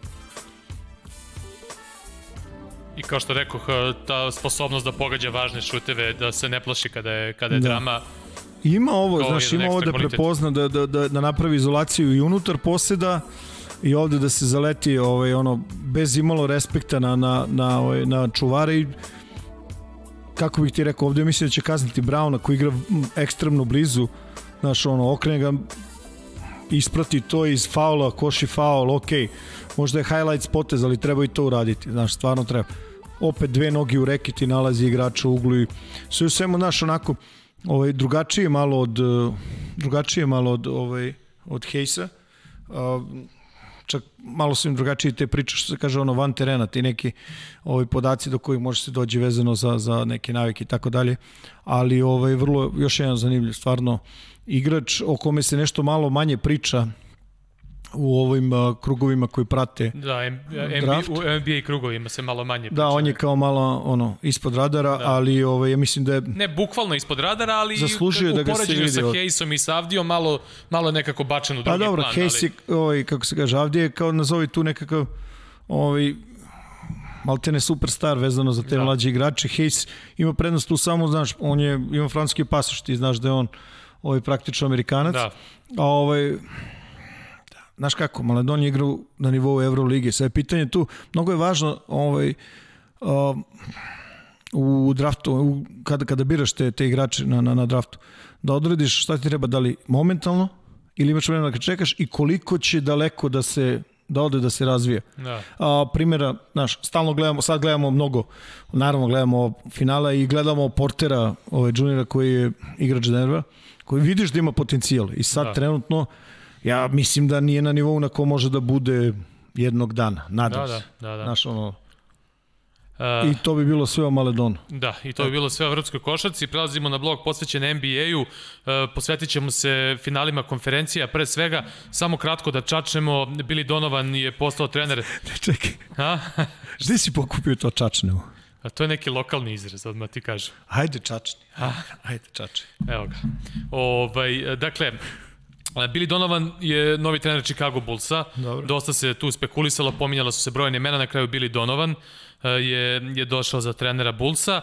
I da pomenemo samo da se šuška sve više i više za Majka D'Antonija, koga je i Mauricio spominjao, eh, da bi mogao u Filadelfiju. E sad, na prvo ono, na, na prvi udarac, da kažeš, na prvu informaciju, razmisliš kao čekaj bre, Filadelfija nema personal za ono što on igra, on se nije baš ne, u nekim drugim timovima najbolje snašao u takvim situacijama, međutim, opet s druge strane stižu informacije da je Filadelfija možda čak spremna da traduje i da prilagođava tim uh, onome što igra Mike D'Antoni, pa čak su se pojavili informacije da hoće nekako da napadaju i da traduju za Jamesa Hardena, ali to su sve sad ono rekla kazala, ali eto da, da spomenemo. da ti kažem, Do, dobro si ga ti čačno. Da, da ti kažem nešto. A? Da, da, baš si ga dobro čač. Ovo je vezano za Billy Donovana, pa ajde sad je gotovo i za lako je biti pametan. Ja stvarno nisam ni očekivao da će Karnišovac da se eventualno kocka sa imenom nekim. Mm -hmm. I onda priča ono kao Wes Ansel Jr. Je, ovo i ono.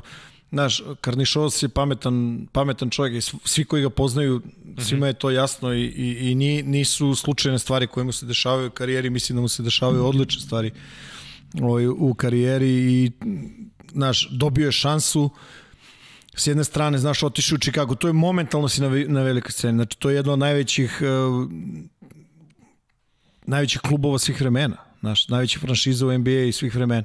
I oni zna se šta žele, žele da se vrate u neko, nazovi Jordanovo vreme. I to stvarno nije lako. E sad, ovaj, za tomu treba trener koji može da pomogne igračima da se razvijaju, jer ja mislim da, da je Karnišovas je dosta uspeha imao sa, sa time kako je draftovao u Denveru i ovaj, mislim da će pokušati da jedan deo a, tog a, ovaj, ponovnog dizanja Bulsa bude ovaj, a, zasnovano na tome da na draftu pametno ovaj odaberu. Ono ovaj, čega igrače koji mogu istovremeno ovaj, da, da budu deo nekih novih bulsa, a i koji će vremenom postajati ovaj, sve bolji. Ne znam koliko će oni biti u mogućnosti da, da, da traduju i šta imaju tu da traduju. Treći način da kupuju igrače. Da. Ali dobro, ovo je o tome Evo, jesmo čačnuli dovoljno. Jest, ovo za Dantonija, jest. vidi, ovo za Dantonija nije nikakvo čudo. Niti je čudo za Philadelphia, oni su godinama trpeli taj proces, proces, proces. I sad ajde, pa ispostavilo se... Aj proces u kantu. Je. Pa dobro, aj sad kao iznova, znaš. Da. Ali generalno, ove, kad uzmeš Dantonija, to znači da, da, da si spremni nešto više za, za onu opciju je treba pobedimo sad. Vidjet ćemo da li je to zapravo i tačna vest. Ne, ne, da pa desiti, mnogo pošto, se o tome priča. Da, da li pošto je Indijana zainteresovana za njega i oni su kao hteli nešto tu da prilagode, da promene. Ali dobro, idemo na, na konferencijska finala. Ovaj, biraj, koju seriju počinjemo? Ma meni su ja. A? Meni A ti obično biraš Denver? Ili? Pa ne, bro, sam jedno. Hoćemo. Ja. Ajmo Denvera da krenemo. Ajde, Ej. krenemo, ajde krenemo 3-1 je... Samo te podsjetim. Uh -huh. Tri utakmice su bile tri utakmice su bilo do Nema prošle. teorije, se sećaš sve tri. Ko je, gde se sećam, zaboravio sam sve. Šta se desilo, ali uh, bilo mi interesantno na 2-1 uh, za Lakers-e, uh, komentar ne, na Twitteru sam vidio neki Amerikanac ko je već dal neko od novinara napisao, kaže Denver je na jedan poraz od plasmana u finale NBA-a. da. Došli su na 1-3, pa da vidimo sada protiv Lakersa. Ali, ovaj... ovaj, da, da. Pa to je pošalica kad nisi u Denveru, znaš, i meni se sviđa iz, i, izjava Mike Malone, mislim da je juče bilo, uh mhm. -huh. gde on nešto pritiga, kao saste na 1-3, kao ha ha hi hi, to je super, kao, on kaže više bi bilo sam na 3-1. Tačno. Nema se pa razumeti. I ovaj, i daleko od toga da će oni da odustanu, to normalno. I navikli smo se sad već, znaš, i, i postoji ta određena neka mitologija vezano za, za, za njih i za 1-3, ali znaš kako, iz, iz rundu u rundu to postaje sve teže. Da, mislim da za, zapravo i Lakersi nisu, nisu bilo ko, tako da, ove, međutim, Međutim, bitna stavka, da li će Anthony Davis biti spreman za petu utakmicu? Jeste, pa svašta nešto. I ako bude spreman, videli smo kako, kako je taj zglob uh, Janisa ovaj, izbacio iz, iz ritma, ovaj tako da mada, ka, mada kao što Davis... ti voliš da kažeš uh, dok uh, jednom ne ne smrkne, ne smrkne, drugome ne svane. ja ne znam da sam ikad to rekao pa jes, evo, kad si prvi put posle čačkaš. A, je tako? Ne, kad si čačko, ej. Ovaj, uh, dakle, Davis se bio i vratio ovoj prošloj utakmici tom povredom i odigrao odlično, bio je i vrlo efikasan i sve e, ostalo. Ali, ali, drugačije, mislim, ne znam, sad ja ne pojma, ali iz, na ovako ono što, izvideli smo iste stvari, naravno. Uh mhm. -huh. Ovaj, izgleda kao da je intenzitet te povrede malo drugačiji, mislim. Uh -huh. Vidjet ćemo već noćas, ovo snijemo kad, ovo je subota, ovaj večer, znači večera se ta utakmica, da. tako.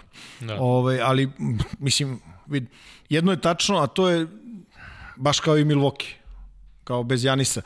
A, nije problem da li možeš da igraš bez njega, trebaš da menjaš način na koji igraš, kao što vi menjaju, ovo, moraju da promene način igre bez ovog uh, Davisa, koji je, znaš kako, uz Lebrona, ok, i Rondo i mislim da 103 vodeći igrača u momentu, ali stvarno dominantno igraju, treću, i četvrtu, i petu, i kad je, čak i kad je Denver pobedio u ovoj utakmici, znaš, tačno se, mnogo je, mnogo je ovaj, bar ja volim da gledam, znaš, te, te po znacima navoda obračune, ovaj, mada imaju direktne duele i i naravno i nemaju, ali ovaj, između, između Davisa i Jokića. I toliko je, toliko je jasno da su ispred svega što, što je na njihovoj poziciji NBA.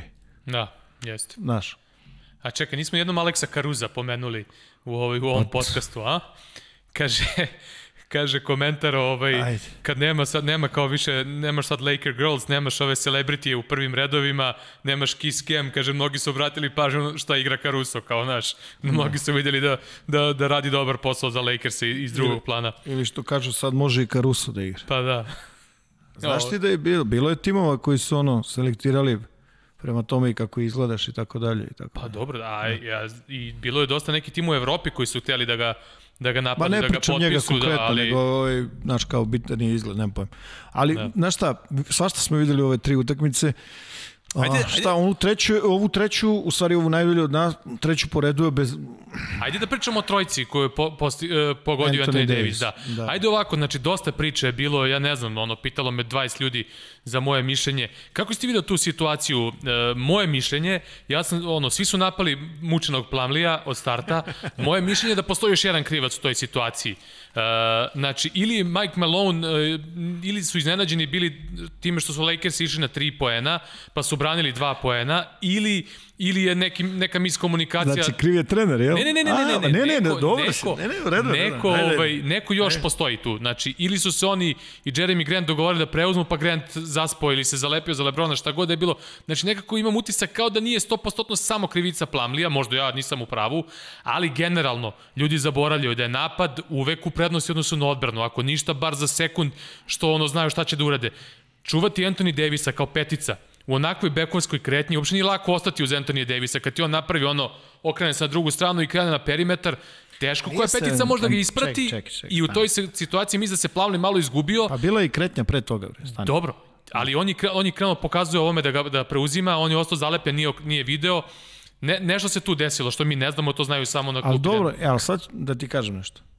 Ovaj, je li to izvanredan napadački potez? Kako nije? Je li dobra, dobar napad uvek pobedi Uvek. dobru odbranu? Tako je. Pa šta onda? I to je ključna stvar, to Pa ljudi treba da mislim, shvate. šta, pogodio je i to je okej. Možda tokom utakmice svašta se nešto dešavalo na jednoj drugoj strani, možda nije trebalo da se završava tim jednim šutem. Tako Razumeš? je, tako je. Mislim, ono, kako Mada, re- mada ruku na srce kad setim one utakmice u regularnom delu sezone u Bablu isto, Kyle uh -huh. Kuzma je dao isto trojku. Mislim, Denver ne, ne preuzima toliko često, ali su im, deš- dešavalo im se i tu da su imali mis komunikaciju na cross screenu, da li će preuzmu, neće preuzmu. Isto je Plamli bio tu. Na kraju Kyle Kuzma izašao i pogodio onu trojku na uručenje ili šta je već bilo. Ovaj, tako da dva puta se desilo Denveru protiv Lakersa u ovom Bablu da, da prime ovaj, zbog mis komunikacije da li preuzimaju ili ne preuzimaju. Pa, znaš kako, ove, ove utakmice sada koje, koje gledamo ove tri, između ovih dve, dve epizode obeležilo je nekoliko naš delova. Recimo, znaš šta meni fascinantno? Fascinantno mi je ovaj, a, takozvana, ja to zovem programirana agresivnost LeBron Jamesa. Mm -hmm. Znači, on kao da odabere jedan period igre kad im je potrebno i on tu igra kao ono, Terminator i onda se ugasi, pomeri se u stranu, izvuče se. Nešto slično, ali mislim mnogo opasnije po protivnika kao što Jimmy Butler ponekad uradi sa Miami. Ali ovo je na višem nivou, stvarno mislim da je na višem nivou. I onda se izmakne, pusti Anthony Davisa, razumeš da krene, pa onda, znaš, u minusu su i tako dalje i tako dalje. Napravili su stvarno dobre stvari sa ono zonom 1-1-3 sa Rondom i Karusom da. napred, šest lopti za redom, uzetih Denvera u četvrtoj četvrtini, vratiš se iz minusa. Znaš, onda, druga stvar, stvarno, Denver, ovaj, Jokić Davis, izvanredni jedan i drugi. Mm -hmm. Izvanredni. I svega tu možeš da vidiš. Znači, igra posle pika, izolacije na izolacije na low postu, ne znam, ja mislim da to, koja je bila to? Je bila četvrta, četvrta utakmica kada je Davis počeo sa ovaj, sedam poseta u reketu su ja mislim, ovaj, završili 14 poena. I generalno, stalno ide ta priča, znaš, kao hoćeš da pobediš Lakers-e, ok, znači moraš da limitiraš broj poena u kontri. Jer oni kad, kada su u, u toj nekoj, tom nekom postavljenom napadu, a, malo više do izražaja dolazi to što u, u odnosu na sve tri ostale ekipe koje su u finalima konferencije, oni imaju manje šuta s polja Jeste? I u kontranapadu mogu da napadaju reket, napadaju dubinu i tu su fenomenalni, ali kažem u postavljenoj stvarno imaju nekak, imaju nekak umalo ovaj problem. I onda recimo u petoj utakmici čak su odlučili da napadaju sa Davisom ovaj, kad je bio na četiri sa Howardom, koji među vremenu postoji starter, jel? Uh -huh. Ovaj, dole, pričali smo, znaš, sećaš kad smo pričali o spacingu, ti si mi pitao spacingu, ja sam rekao, recimo, Duncan je uvijek napadao sa peticom dole. Uh -huh. I oni su igrali sta dva rasporedu, dva unutra, tri spolja i tako dalje i tako dalje. Svašta, znaš, svašta se tu nešto ovaj, uh, smo mogli da vidimo sa strane, sa strane Lakers. Videli smo zonu, znaš, videli smo recimo zonu 1-3 koja im je dala puno, puno toga. Probali su sa 3-2 sa Davisom na topu, to nije bilo sjajno. Izgledalo mi je više kao da je Vogel teo nešto da pokaže, ali da nije bilo to dovoljno istrenirano. Prosto pravili su greške koje tim koji to bi, koji ima u defanzivnom sistemu ne bi trebalo da, da, da pravi. Što se tiče Denvera, vidi, ti kad pogledaš njih i način na koji oni igraju, znači oni imaju, oni imaju realnu opasnost dole na low postu, pri čemu uh, potpuno je svima jasno, Jokić može da igra i licem i leđima kao koš. I ono što je vrlo važno, on kad igra kao, ovaj, kad igra kao pet, posle preuzimanja, on može da kažnjava spoljni igrač. Da. Lakersi su se, od, za razliku od Clippersa, su odabrali da ga dole na low postu brane single, ono, Pa da, ali vidi kakvu da. liniju imaju. Da, da. Znači oni imaju personal koji može da ga brani. Recimo, i... ja se ne bi iznenadio ga uzme Lebrona kod Davis ne igra u nekim, u, ne, u nekim momentima da. Znaš, kao što je odabrao Mareja da, da, ovaj, da brani u ovoj poslednjoj utakmici kada je Marej ono stvarno ponovo ušao ono svoje, kad je kad uđe u, taj, u tu neku svoju zonu komfora, prosto je malte ne, neodbranjiv, znaš. Sad, da li je bio onaj faul, no, ono, o čemu stalno se priča, ono, da li je bio faul na, na prodolu, da ili nije. Pa ja mislim da je bio čisto suza. 105, 102. Pa jeste, znaš. Po rukama je bilo. Pa mi ga vidimo sad, da, da. znaš. Treba da ga sviraš generalno, i to je ono... Generalno, prilično loše suđenje u, ovim, u obe serije, mnogo grešaka i na Miami i Boston, mnogo, mnogo grešaka, prosto mi je neverovatno. Ovaj... Ali ti fali neko od vrhunskih sudija, neko nije došao?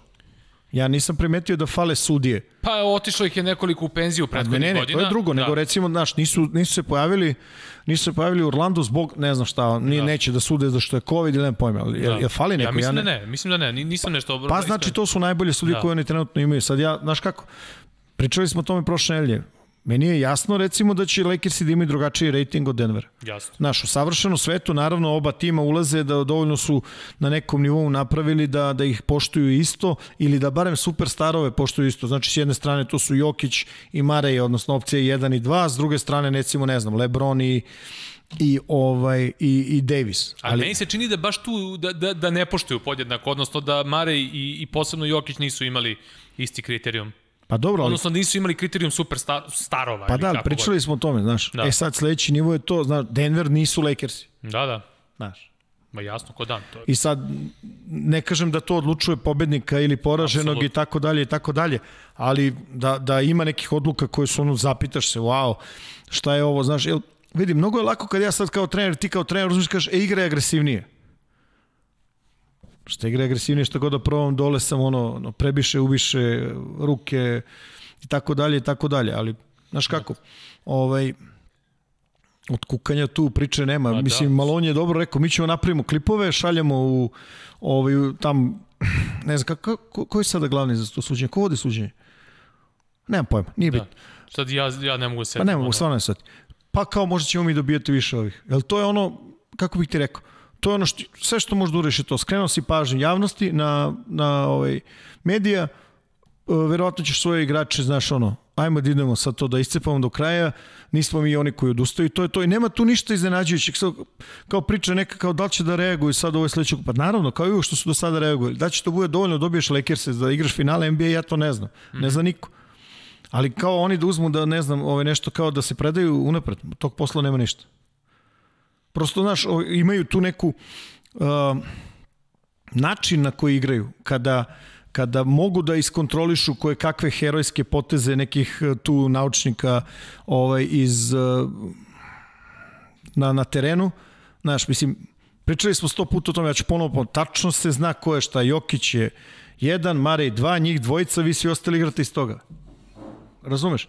I ostala je ta misterija kome se obratio Malone ono na kraju kad je rekao ako ne možeš da mi pomogneš u odbrani, kao možda ne treba budeš ovaj, na terenu. E sad je tu, znaš, nije baš ne znam koliko dugačka lista tih igrača kojima se obraća, ali opet to je njihovo nešto, između, on kapira da će izađu sa najboljom mogućom glavom ovaj, noćas i da, da pokušaju da, da urade sve da, da ovaj, produže seriju. Razumeš? Da. Gde, ponavljam, ono što si rekao je vrlo tačno i vrlo važno. Da li Davis igra, da li ne igra. Ja pravo ti kažem, do, do sada, do momenta kad smo mi počeli osnivanje, ne, ne, nisam ništa pročitao da li igra, da li ne igra. Mislim, ono, to je, kapiram da će biti ono, ovaj, gay time decision i to je to. Pa, apsolutno, apsolutno. Uh, je li imaš nešto iz ove serije ili, ili je to to? Dodao bi ja samo na priču zapravo neki interesantan podatak sam video da kad smo pominjali sa Sašom Pavlovićem prošle nedelje Ronda i to što on radi za ekipu, da njegovi saigrači šutiraju 68% ovaj, iz igre na, na, na pasove, na asistencije Ražona Ronda. Ja to čisto da, da. da malo ono oplemenimo. Pa ili, e, ili da se vratimo ovome što svi kao čude, kao, ovaj, kao neko je čuđenje, kao otkud Howard sad igra. Pa igra čovjek, prihvatio novu ulogu. Novu ulogu je sad, vidi majstore, sad si ti epizodista. I nema filozofe. Šta ti je posao? Kontakt sa Jokićem, non stop, non stop, non stop, igre odbranu, ide skok napad. Znaš, i onda uzme, pa uzme pa skoči četiri puta za redom, skoku napada, dao sam ti poena, razumeš? I to je ono kao da li prihvati ulogu. Pa jeste prihvati ulogu. Da li se od njega očekuje da nešto iskreira, da bude nekakav lider? Verovatno ne. Ne vidim da, da je to do sada dobio ovaj, u igre Lakers. Razumeš? Da. I, I to je, znaš, ono kao nešto, kao neko je čuđenje otkud Howard, od... to je to, bre. Znaš, mislim, jeste To je verovatno jedan od, od igrača koji su ono ostali po znacima nada neostvareni u odnosu na potencijal koji su imali, ali kapiram da ima dobrih razloga zašto su ostali neostvareni. A, da budemo pošteni i ono prilikom prelaska iz Orlando Lakersa, oni problemi sa leđima su ga onako baš usporili, a onda posle i sve dalje, u što ne, ne želim da ulazim. Dobro, hoćemo da prelazimo na, na Boston i na Miami ili... I sam, samo nešto u vezi ovo. Ove, uživanje je gledati i navijački i, i što se kaže profesionalno trenerski Mareja kako napreduje kroz ovaj playoff. Da. Stvarno je, jeste, jeste. stvarno je onako uživanje i ovaj, baš, baš mi je kako bih ti rekao, drago da se to sve na, i vidi se koliko mu znači da ovo da se pomera i stvarno ovaj, ono što je trener rekao njegov, je, naš, ono, on se us, uspostavio za jednog od prva dva igrača tima koji je u, u finalu konferencije nemoguće da ne možeš da mu daš tu medalju u njegovom slučaju superstara. Mm -hmm. Znaš, Je, a, ajde kratko samo, kako komentarišeš, mislim sad, s obzirom da, da, da Jokić ovaj, tu i Ogi u, u Denveru, Ovaj, pa dosta ljudi ovaj, u Srbiji gleda i, i prati i onako dosta se obraća pažnja te neke detalje. Kako gledaš na, na te duele Jokića i Dwighta Howarda, Howard koji pokušava Jokiću da uđe u glavu, ne znam, tamo ulazi u neke kontakte. Meni Jokić ne deluje kao čovjek koga to može izbaci iz nekog, iz nekog ritma, ali da meni neko kaže, da mi Dwight Howard kaže ili bilo ko, on u stvar, ono, ne znam, kako mu rekao, ono, e, šta mu rekao, ono, Batman's coming coming for you, Joker, ili tako nešto. Meni to neko kaže da bi umro od smeha. Da mi to dobaci klub. Zamisli kao Batman dolazi po tebe kao Jokeru, mislim. Neverovatno. Pa nisam ja nešto primetio da, da ne znam, ovaj Nikola Pa posebno, i meni delo da, da, da, da, da je posebno frustriran, znaš, da, ono, pa da, baš to. Nego jedino što smo mi sad očekovali, znaš, mi očekujemo da on uvek igra kao Superman, znaš. Ma ne, nego mene, mene čudi zašto ljudi uopšte to ono pridaju znači, to su meni normalne stvari, čak i volim u sportu te neke ono trash talk i tako nešto. Mislim, mislim ili, ili smo možda mi ono zastareli ono. Pa jesmo, ja sam A? sigurno zastareo za tebe, ne znam. Pa mislim. Nisam čačkao meni, to. Znaš šta je meni? Meni je malo čudno, znaš, kad ljudi krenu s tim nekim kao forama, kao ono čistunci su i ovo ne može, ovo ne može, ono. Znaš, ono, pa šta bi pričali ono ranije? Pa Dražen Petrović je prvi bio koji je, koji je bio poznat po trash talku. A šta Jordan, bre čistunci? Pa ne, nego pričam ljudi koji kao nije im jasno kao zašto se te stvari rade na terenu. Pa nije mislim, to pozorište. Pa naravno da nije i treba da bude tako. Mislim, meni to potpuno normalna stvar. Mislim, radiš sve da, da pobediš ono što je dozvoljeno. Mislim, naravno, ne, ne ideš da povrediš nekoga i tako dalje, ali ovako neke ove provokacije, to normalna stvar, pa na basketu kad se igra ono 3 na 3, pa, pa se dešavaju. Ali dobro, generalno, kao što rekao smo, ja isto ne primećujem da, da bilo šta uspeva da mu uđe u glavu ovaj Dwight Howard, ovaj, tako da a i nekako mi ni on ne deluje kao neki trash talker, niti neki provokator da, da, da ima potencijal za tako nešto.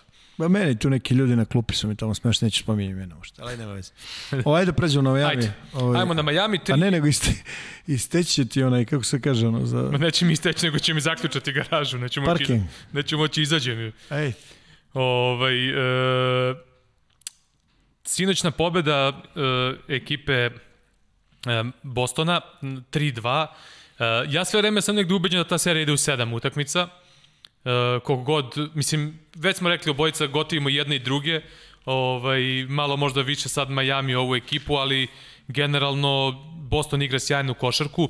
E, problemi, problemi sa zonskim odbranama, e, to smo pominjali, naglasili smo i u prošloj epizodi onu odbranu koju igra Miami, odnosno zonu 2-3 sa gore krilima, odnosno sad malo više i Godala nego Crowder sa Butlerom u prednjoj liniji. Yes. Ova dvojica Koje... gore pomažu često ovaj Adetokum, ovaj Adetokum, bože, Adebayo, ovaj dole štiti reket i obruč. Uh, utisak je, i to zaboravih prošli put da napomenem, jer pred, pred tu prošlu, kad smo radili prošlu epizodu, pred tu utakmicu je bilo očekivano da će se uh, Hayward da se vrati. Uh, Hayward kao takav, kao igrač, mnogo pogodniji za, za razbijanje ovaj, zonskih odbrana zbog načina igre, a i da im uh, mnogo veću fleksibilnost za pravljanje petorke nižih postava i nekako deluje mi da, da su ih dosta napali, da su im napali tu i po ovim short kornerima i po kornerima i tako dalje, mm. tako dalje, ali Boston uh, na onoj pretprošloj utakmici je promašivo dosta, dosta nekih otvorenih šuteva. Sada su pogađali i napali su im reket. Pa ne, vidi, u odnosu, pričamo znači sad iz, opet između dve epizode bilo tri, Tri tako? utakmice, da. Tri utakmice. Ja sam negde to izgenerisao sve tri da. utakmice, da. ono što... Malo si čačno. Pa da. ali, ali ovaj, od te tri Boston je dobio dve, se ne, je tako? Uh, da. E. I ovaj uh, da, mi smo pričali na koliko je bilo na 2:0 smo pričali. 2:0 da, pričali. Da, da, da. E vidi ovako. Znači šta se promenilo generalno između ta dva ove te dve celine u, u u toj rundi ovaj, finala na istoku. Prvo vratio se igrač koji je dosta važan, koji je, kad je zdravo, on je, on je starter. Ovaj, pričamo o, o kako si rekao? Haywardu. Haywardu. Znaš šta je zanimljivo? Na sve tri utakmice Stevens ga je vrlo radno ovaj, stavljao igru. Vrlo radno. Mm -hmm. da, da bi oborio rekord ovaj, sinoć, ubacio ga, mislim, već u četvrtu minutu. Izbacio Tajsa. A znaš šta je vrlo zanimljivo? Oni su juče, sinoć, znači, noćas, sinoć, nema pojma kako se kaže ovaj, pobedili u jednoj vrlo, vrlo čudnoj utakmici gde su centri Bostona uradili veliki posao. Taj posebno. Pa i taj si kanter. Da. Znaš, jel ti sad dođeš, evo čekaj, ovde se negde ostavio, mnogo čudno, bre. Znaš, 23 poena od njih dvojice, ne znam, taj 15, kanter 8, onda skokovi, broj, znaš, to, to je onako, ne očekuješ, to je neki, to je neki ovaj uh, napadački napadački ovaj učinak koji ne očekuješ od njih, prosto ne očekuješ. I sad uh, u prvoj četvrtini Miami je dominirao, potpuno dominirao. Potpuno. Znaš, Tajs na klupu Herod unutra, trrr, međutim, od početka, pa onda je Kanter malo nešto uspostavio neku ravnotežu, ne samo nego naravno, koja je razlika, samo kažemo zašto je Kanter opasan za opasan za ekipu Miami. U ovoj, u ovoj odbrani sa puno sviča. Da. Nijedan spoljni igrač, njih, uključujući ove najsnažnije, znači pričamo o Butleru, pričamo o Crowderu, ne može tako lako da zagradi Kantera. Tako je, ne možemo isparira. Jest, on je vrlo opasan, pričali smo već o tom takozvanom trećem ismeču na skoku. I, I to Boston ovaj, koristi i onda ovi nešto slobodnije po znacima navoda, sa više sigurnosti se igra s polja protiv viših igrača Majamija ovaj, koji preozmu. A druga stvar koja je bila vrlo čuna, Duncan Robinson je dao tri puta po ovaj, tri takozvane dvojke. 91% šutova play-offu su mu za 3 poena, juče je dao 6 poena iz reketa. Moraš da izgubiš tu utakmicu. Da, Mislim, nema da, šta. Da, da, da, ali generalno, znaš, sve tri utakmice, onako idu sve Miami gore dole, gore dole. baš loše šutirao za 3 poena. Jeste, jeste. Da. Znaš, i... I čak neka selekcija šuta ne u smislu izbora šuteva, nego neki šutevi koji su dobro izgrađeni, nije, tipa nije dobro primio loptu ili ne znam, nije lepo noga mušao šut, ipak su ih šutirali i promašivali, a bile su neke, da kažem... Ali, ali vidi, vidi, znaš šta je zanimljivo recimo za petu utakmicu? Oni su i dalje bili u velikom plusu na, na polovremenu, mislim, relativno velikom plusu. I onda u prvih šest minuta praktično utakmica odlače 23 mm -hmm. za Boston. Da, da. Odmah u trećoj četvrtini. Sve posle toga je bilo nekako, nije otaljavanje, nije to prava reč. Znaš što je vrlo zanimljivo? U pokušajima da se vrate, vrlo malo zonske odbrane. Koje, samo da dodamo, znači u momentima je 2-3, u momentima je 1-1-3. Mm -hmm. Znaš, sa tim dodavanjem na 45 izlaze igrači iz kornera, radi takozvane pomoći vraćanje, u sredini Adebayo. Vezano za zonski napad Bostona, oni su najefikasniji, znači sve su probali. Probali su pick and roll sa elboa, sa ugla penala, s polja, da. probali su pick and roll kao unutra, a ono što je što im najviše prolazi, ali još uvek nije dovoljno efikasno. Sad ovo je malo onako nonsens, ali ono što najviše im daje mogućnosti za, za dobro rešenje dalja je takozvani flash na, na, na penal, ali oni tu ne stavljaju, da. ne stavljaju playmakere. Smart. Ne stavljaju igrače, ne, ne, slušaj, znači oni ne stavljaju igrače koji mogu da napadnu posle tog prijema. Mm -hmm. Znači, taj sto nije, Ali radio dobar posao u tome da, sinoć. Ali, ne, ali vidi, to je sve ono, ti kažeš dobar posao, možda je dao dva poena. Njima treba sistemsko rešenje. Mm -hmm. Znači njima treba Tatum tu, njima treba Smart, njima treba neko... Hayward. Hayward je neko ko tu može to da uradi. Ne, nije, ne, čak ne ni on. On nije, ne, on će da gleda da, da doda, on mu, vidi, njegova priroda je da bude, da bude agresivan. Bre. On je tu, on ima limitiranu količinu minuta, on mora da bude agresivniji. On, da on da gleda da doda, ma nema od toga ništa.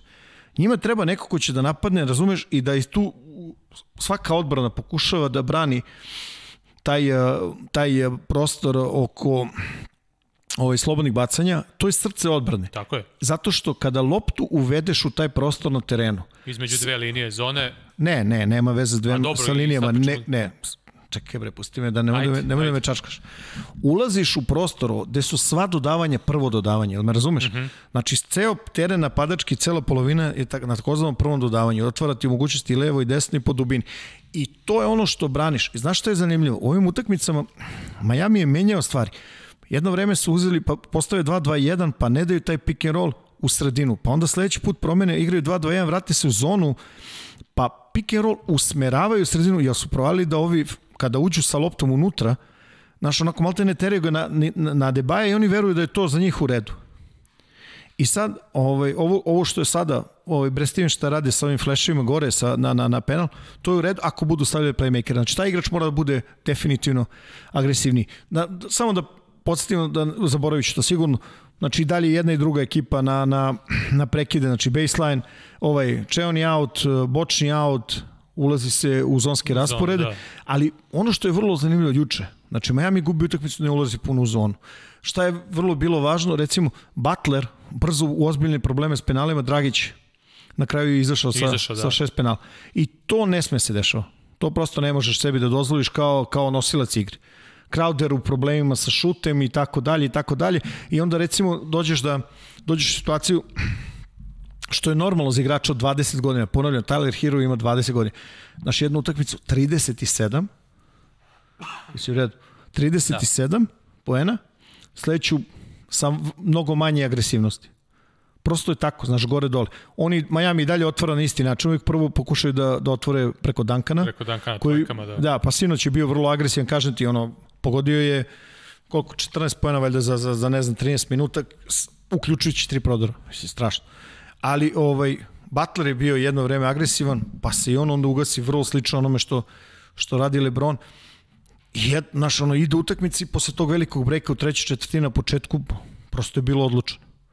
Znaš, I onda to što si rekao da ide u sedmu, moguće, moguće da ide u sedmu, ali pravo ti kažem, ja bih uživao da se to odluči u sedmu. Da, da. Jer ono, naš, pričali smo i samo šalimo se na početku, za koga navijete?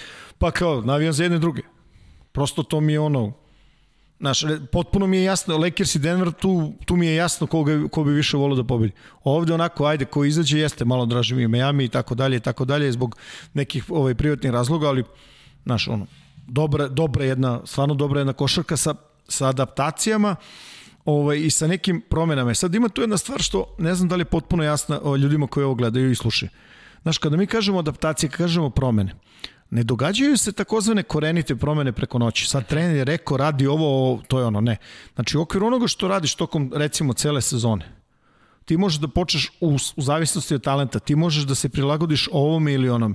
Ali ja i dalje ne verujem da možeš da postaviš nešto što nisi cele godine radio. Tako je, tako je, ja. I da to sad kao bude nekako, ne znam, rešenje. Znaš. I, ove, ovaj, i to je u obe ove, mislim, generalno uošte, naš u play-offu gde imaš veliki broj utakmica, ove godine specifično veliki broj utakmica u malom prostoru da generalno u play-offu, rekli smo to već, imaš, imaš znači normalno, završava se sezona ovaj, i, i normalno se koncentrisaniji nego tokom, tokom ovaj regularnog dela. To je potpuno normalno. I da, nešto više se baviš analizom i nešto više se baviš takozvanim prilagođavanjem, ali usko povezano na šta tvoj tim može, šta ne može. I to je ono, kapiram da moraš da znaš moraš da znaš ovaj, šta mogu, recimo, iznenađujuće da Brad Stevens posle pobede takozvani menja, menja nekakve rotacije, menja ovaj, kako se igra, ali on zna tim bolje od svih nas. Tako je. I tu nemam ja šta da, sad, mislim, ono kao, e, što si tu uradio, što nisi. Mislim, kapiram da oni znaju šta, šta, šta žele, šta ne žele. Mislim, da. Tu nemam, nemam dilemu. Mislim, malo iskratio rotaciju i to je, to je uvek no, pa normalno to je uvek kako normalno. serija kraju to je uvek normalno, da se razumeš. Pa rotacija. Pa naravno, znaš, nemaš tu, nemaš tu, nema, mislim, jedna i druga ekipa su pomalo, jest, pomalo, jest. skrate, ovaj, pomalo skrate rotaciju. Nemaš tu, tu sad vremena nešto da, da, ovaj, da izmišljaš. A kaži mi jednu stvar, kako ti e, komentarišeš to što u, u ove da kažemo, dve utakmice. Uh, tri od četiri tima, ne računajući Lakers-e, tri od četiri tima se nekako im utisak mnogo konfornije osjećaju u trenucima kad, kad gube. Bilo u seriji, bilo u samoj utakmici. Kao da se i Denver lakše upali kad uh, kad gubi e, i, i, i ekipa e, Majamija i Boston. Da li to ima veze s nekim pritiskom, da li ima to veze s nečim drugim, da li možda to ima veze s činjenicom da danas mnogo toga zavisi od šuta za tri poena ili to samo neki privid. Ali nekako im ucak da se Lakersi najkonfornije osjećaju e, ulozi favorita, naj, najbolje se ono, bore sad da tako kažem ti pritiskom očekivanja i tako dalje i tako dalje. Vezano za tri poena, sad recimo stvar koja je onako malo je statistički je taj podatak vrlo zanimljiv i što najgore, ne, ne priča se puno o tome, ali je tačan. Procenat e, šuta za tri poena u play-offu mm -hmm. iz godinu u godinu pada, ne raste. Mm -hmm. Pričamo o procentu uspešnosti, ne da, o da. broju šuteva. Da, da, da.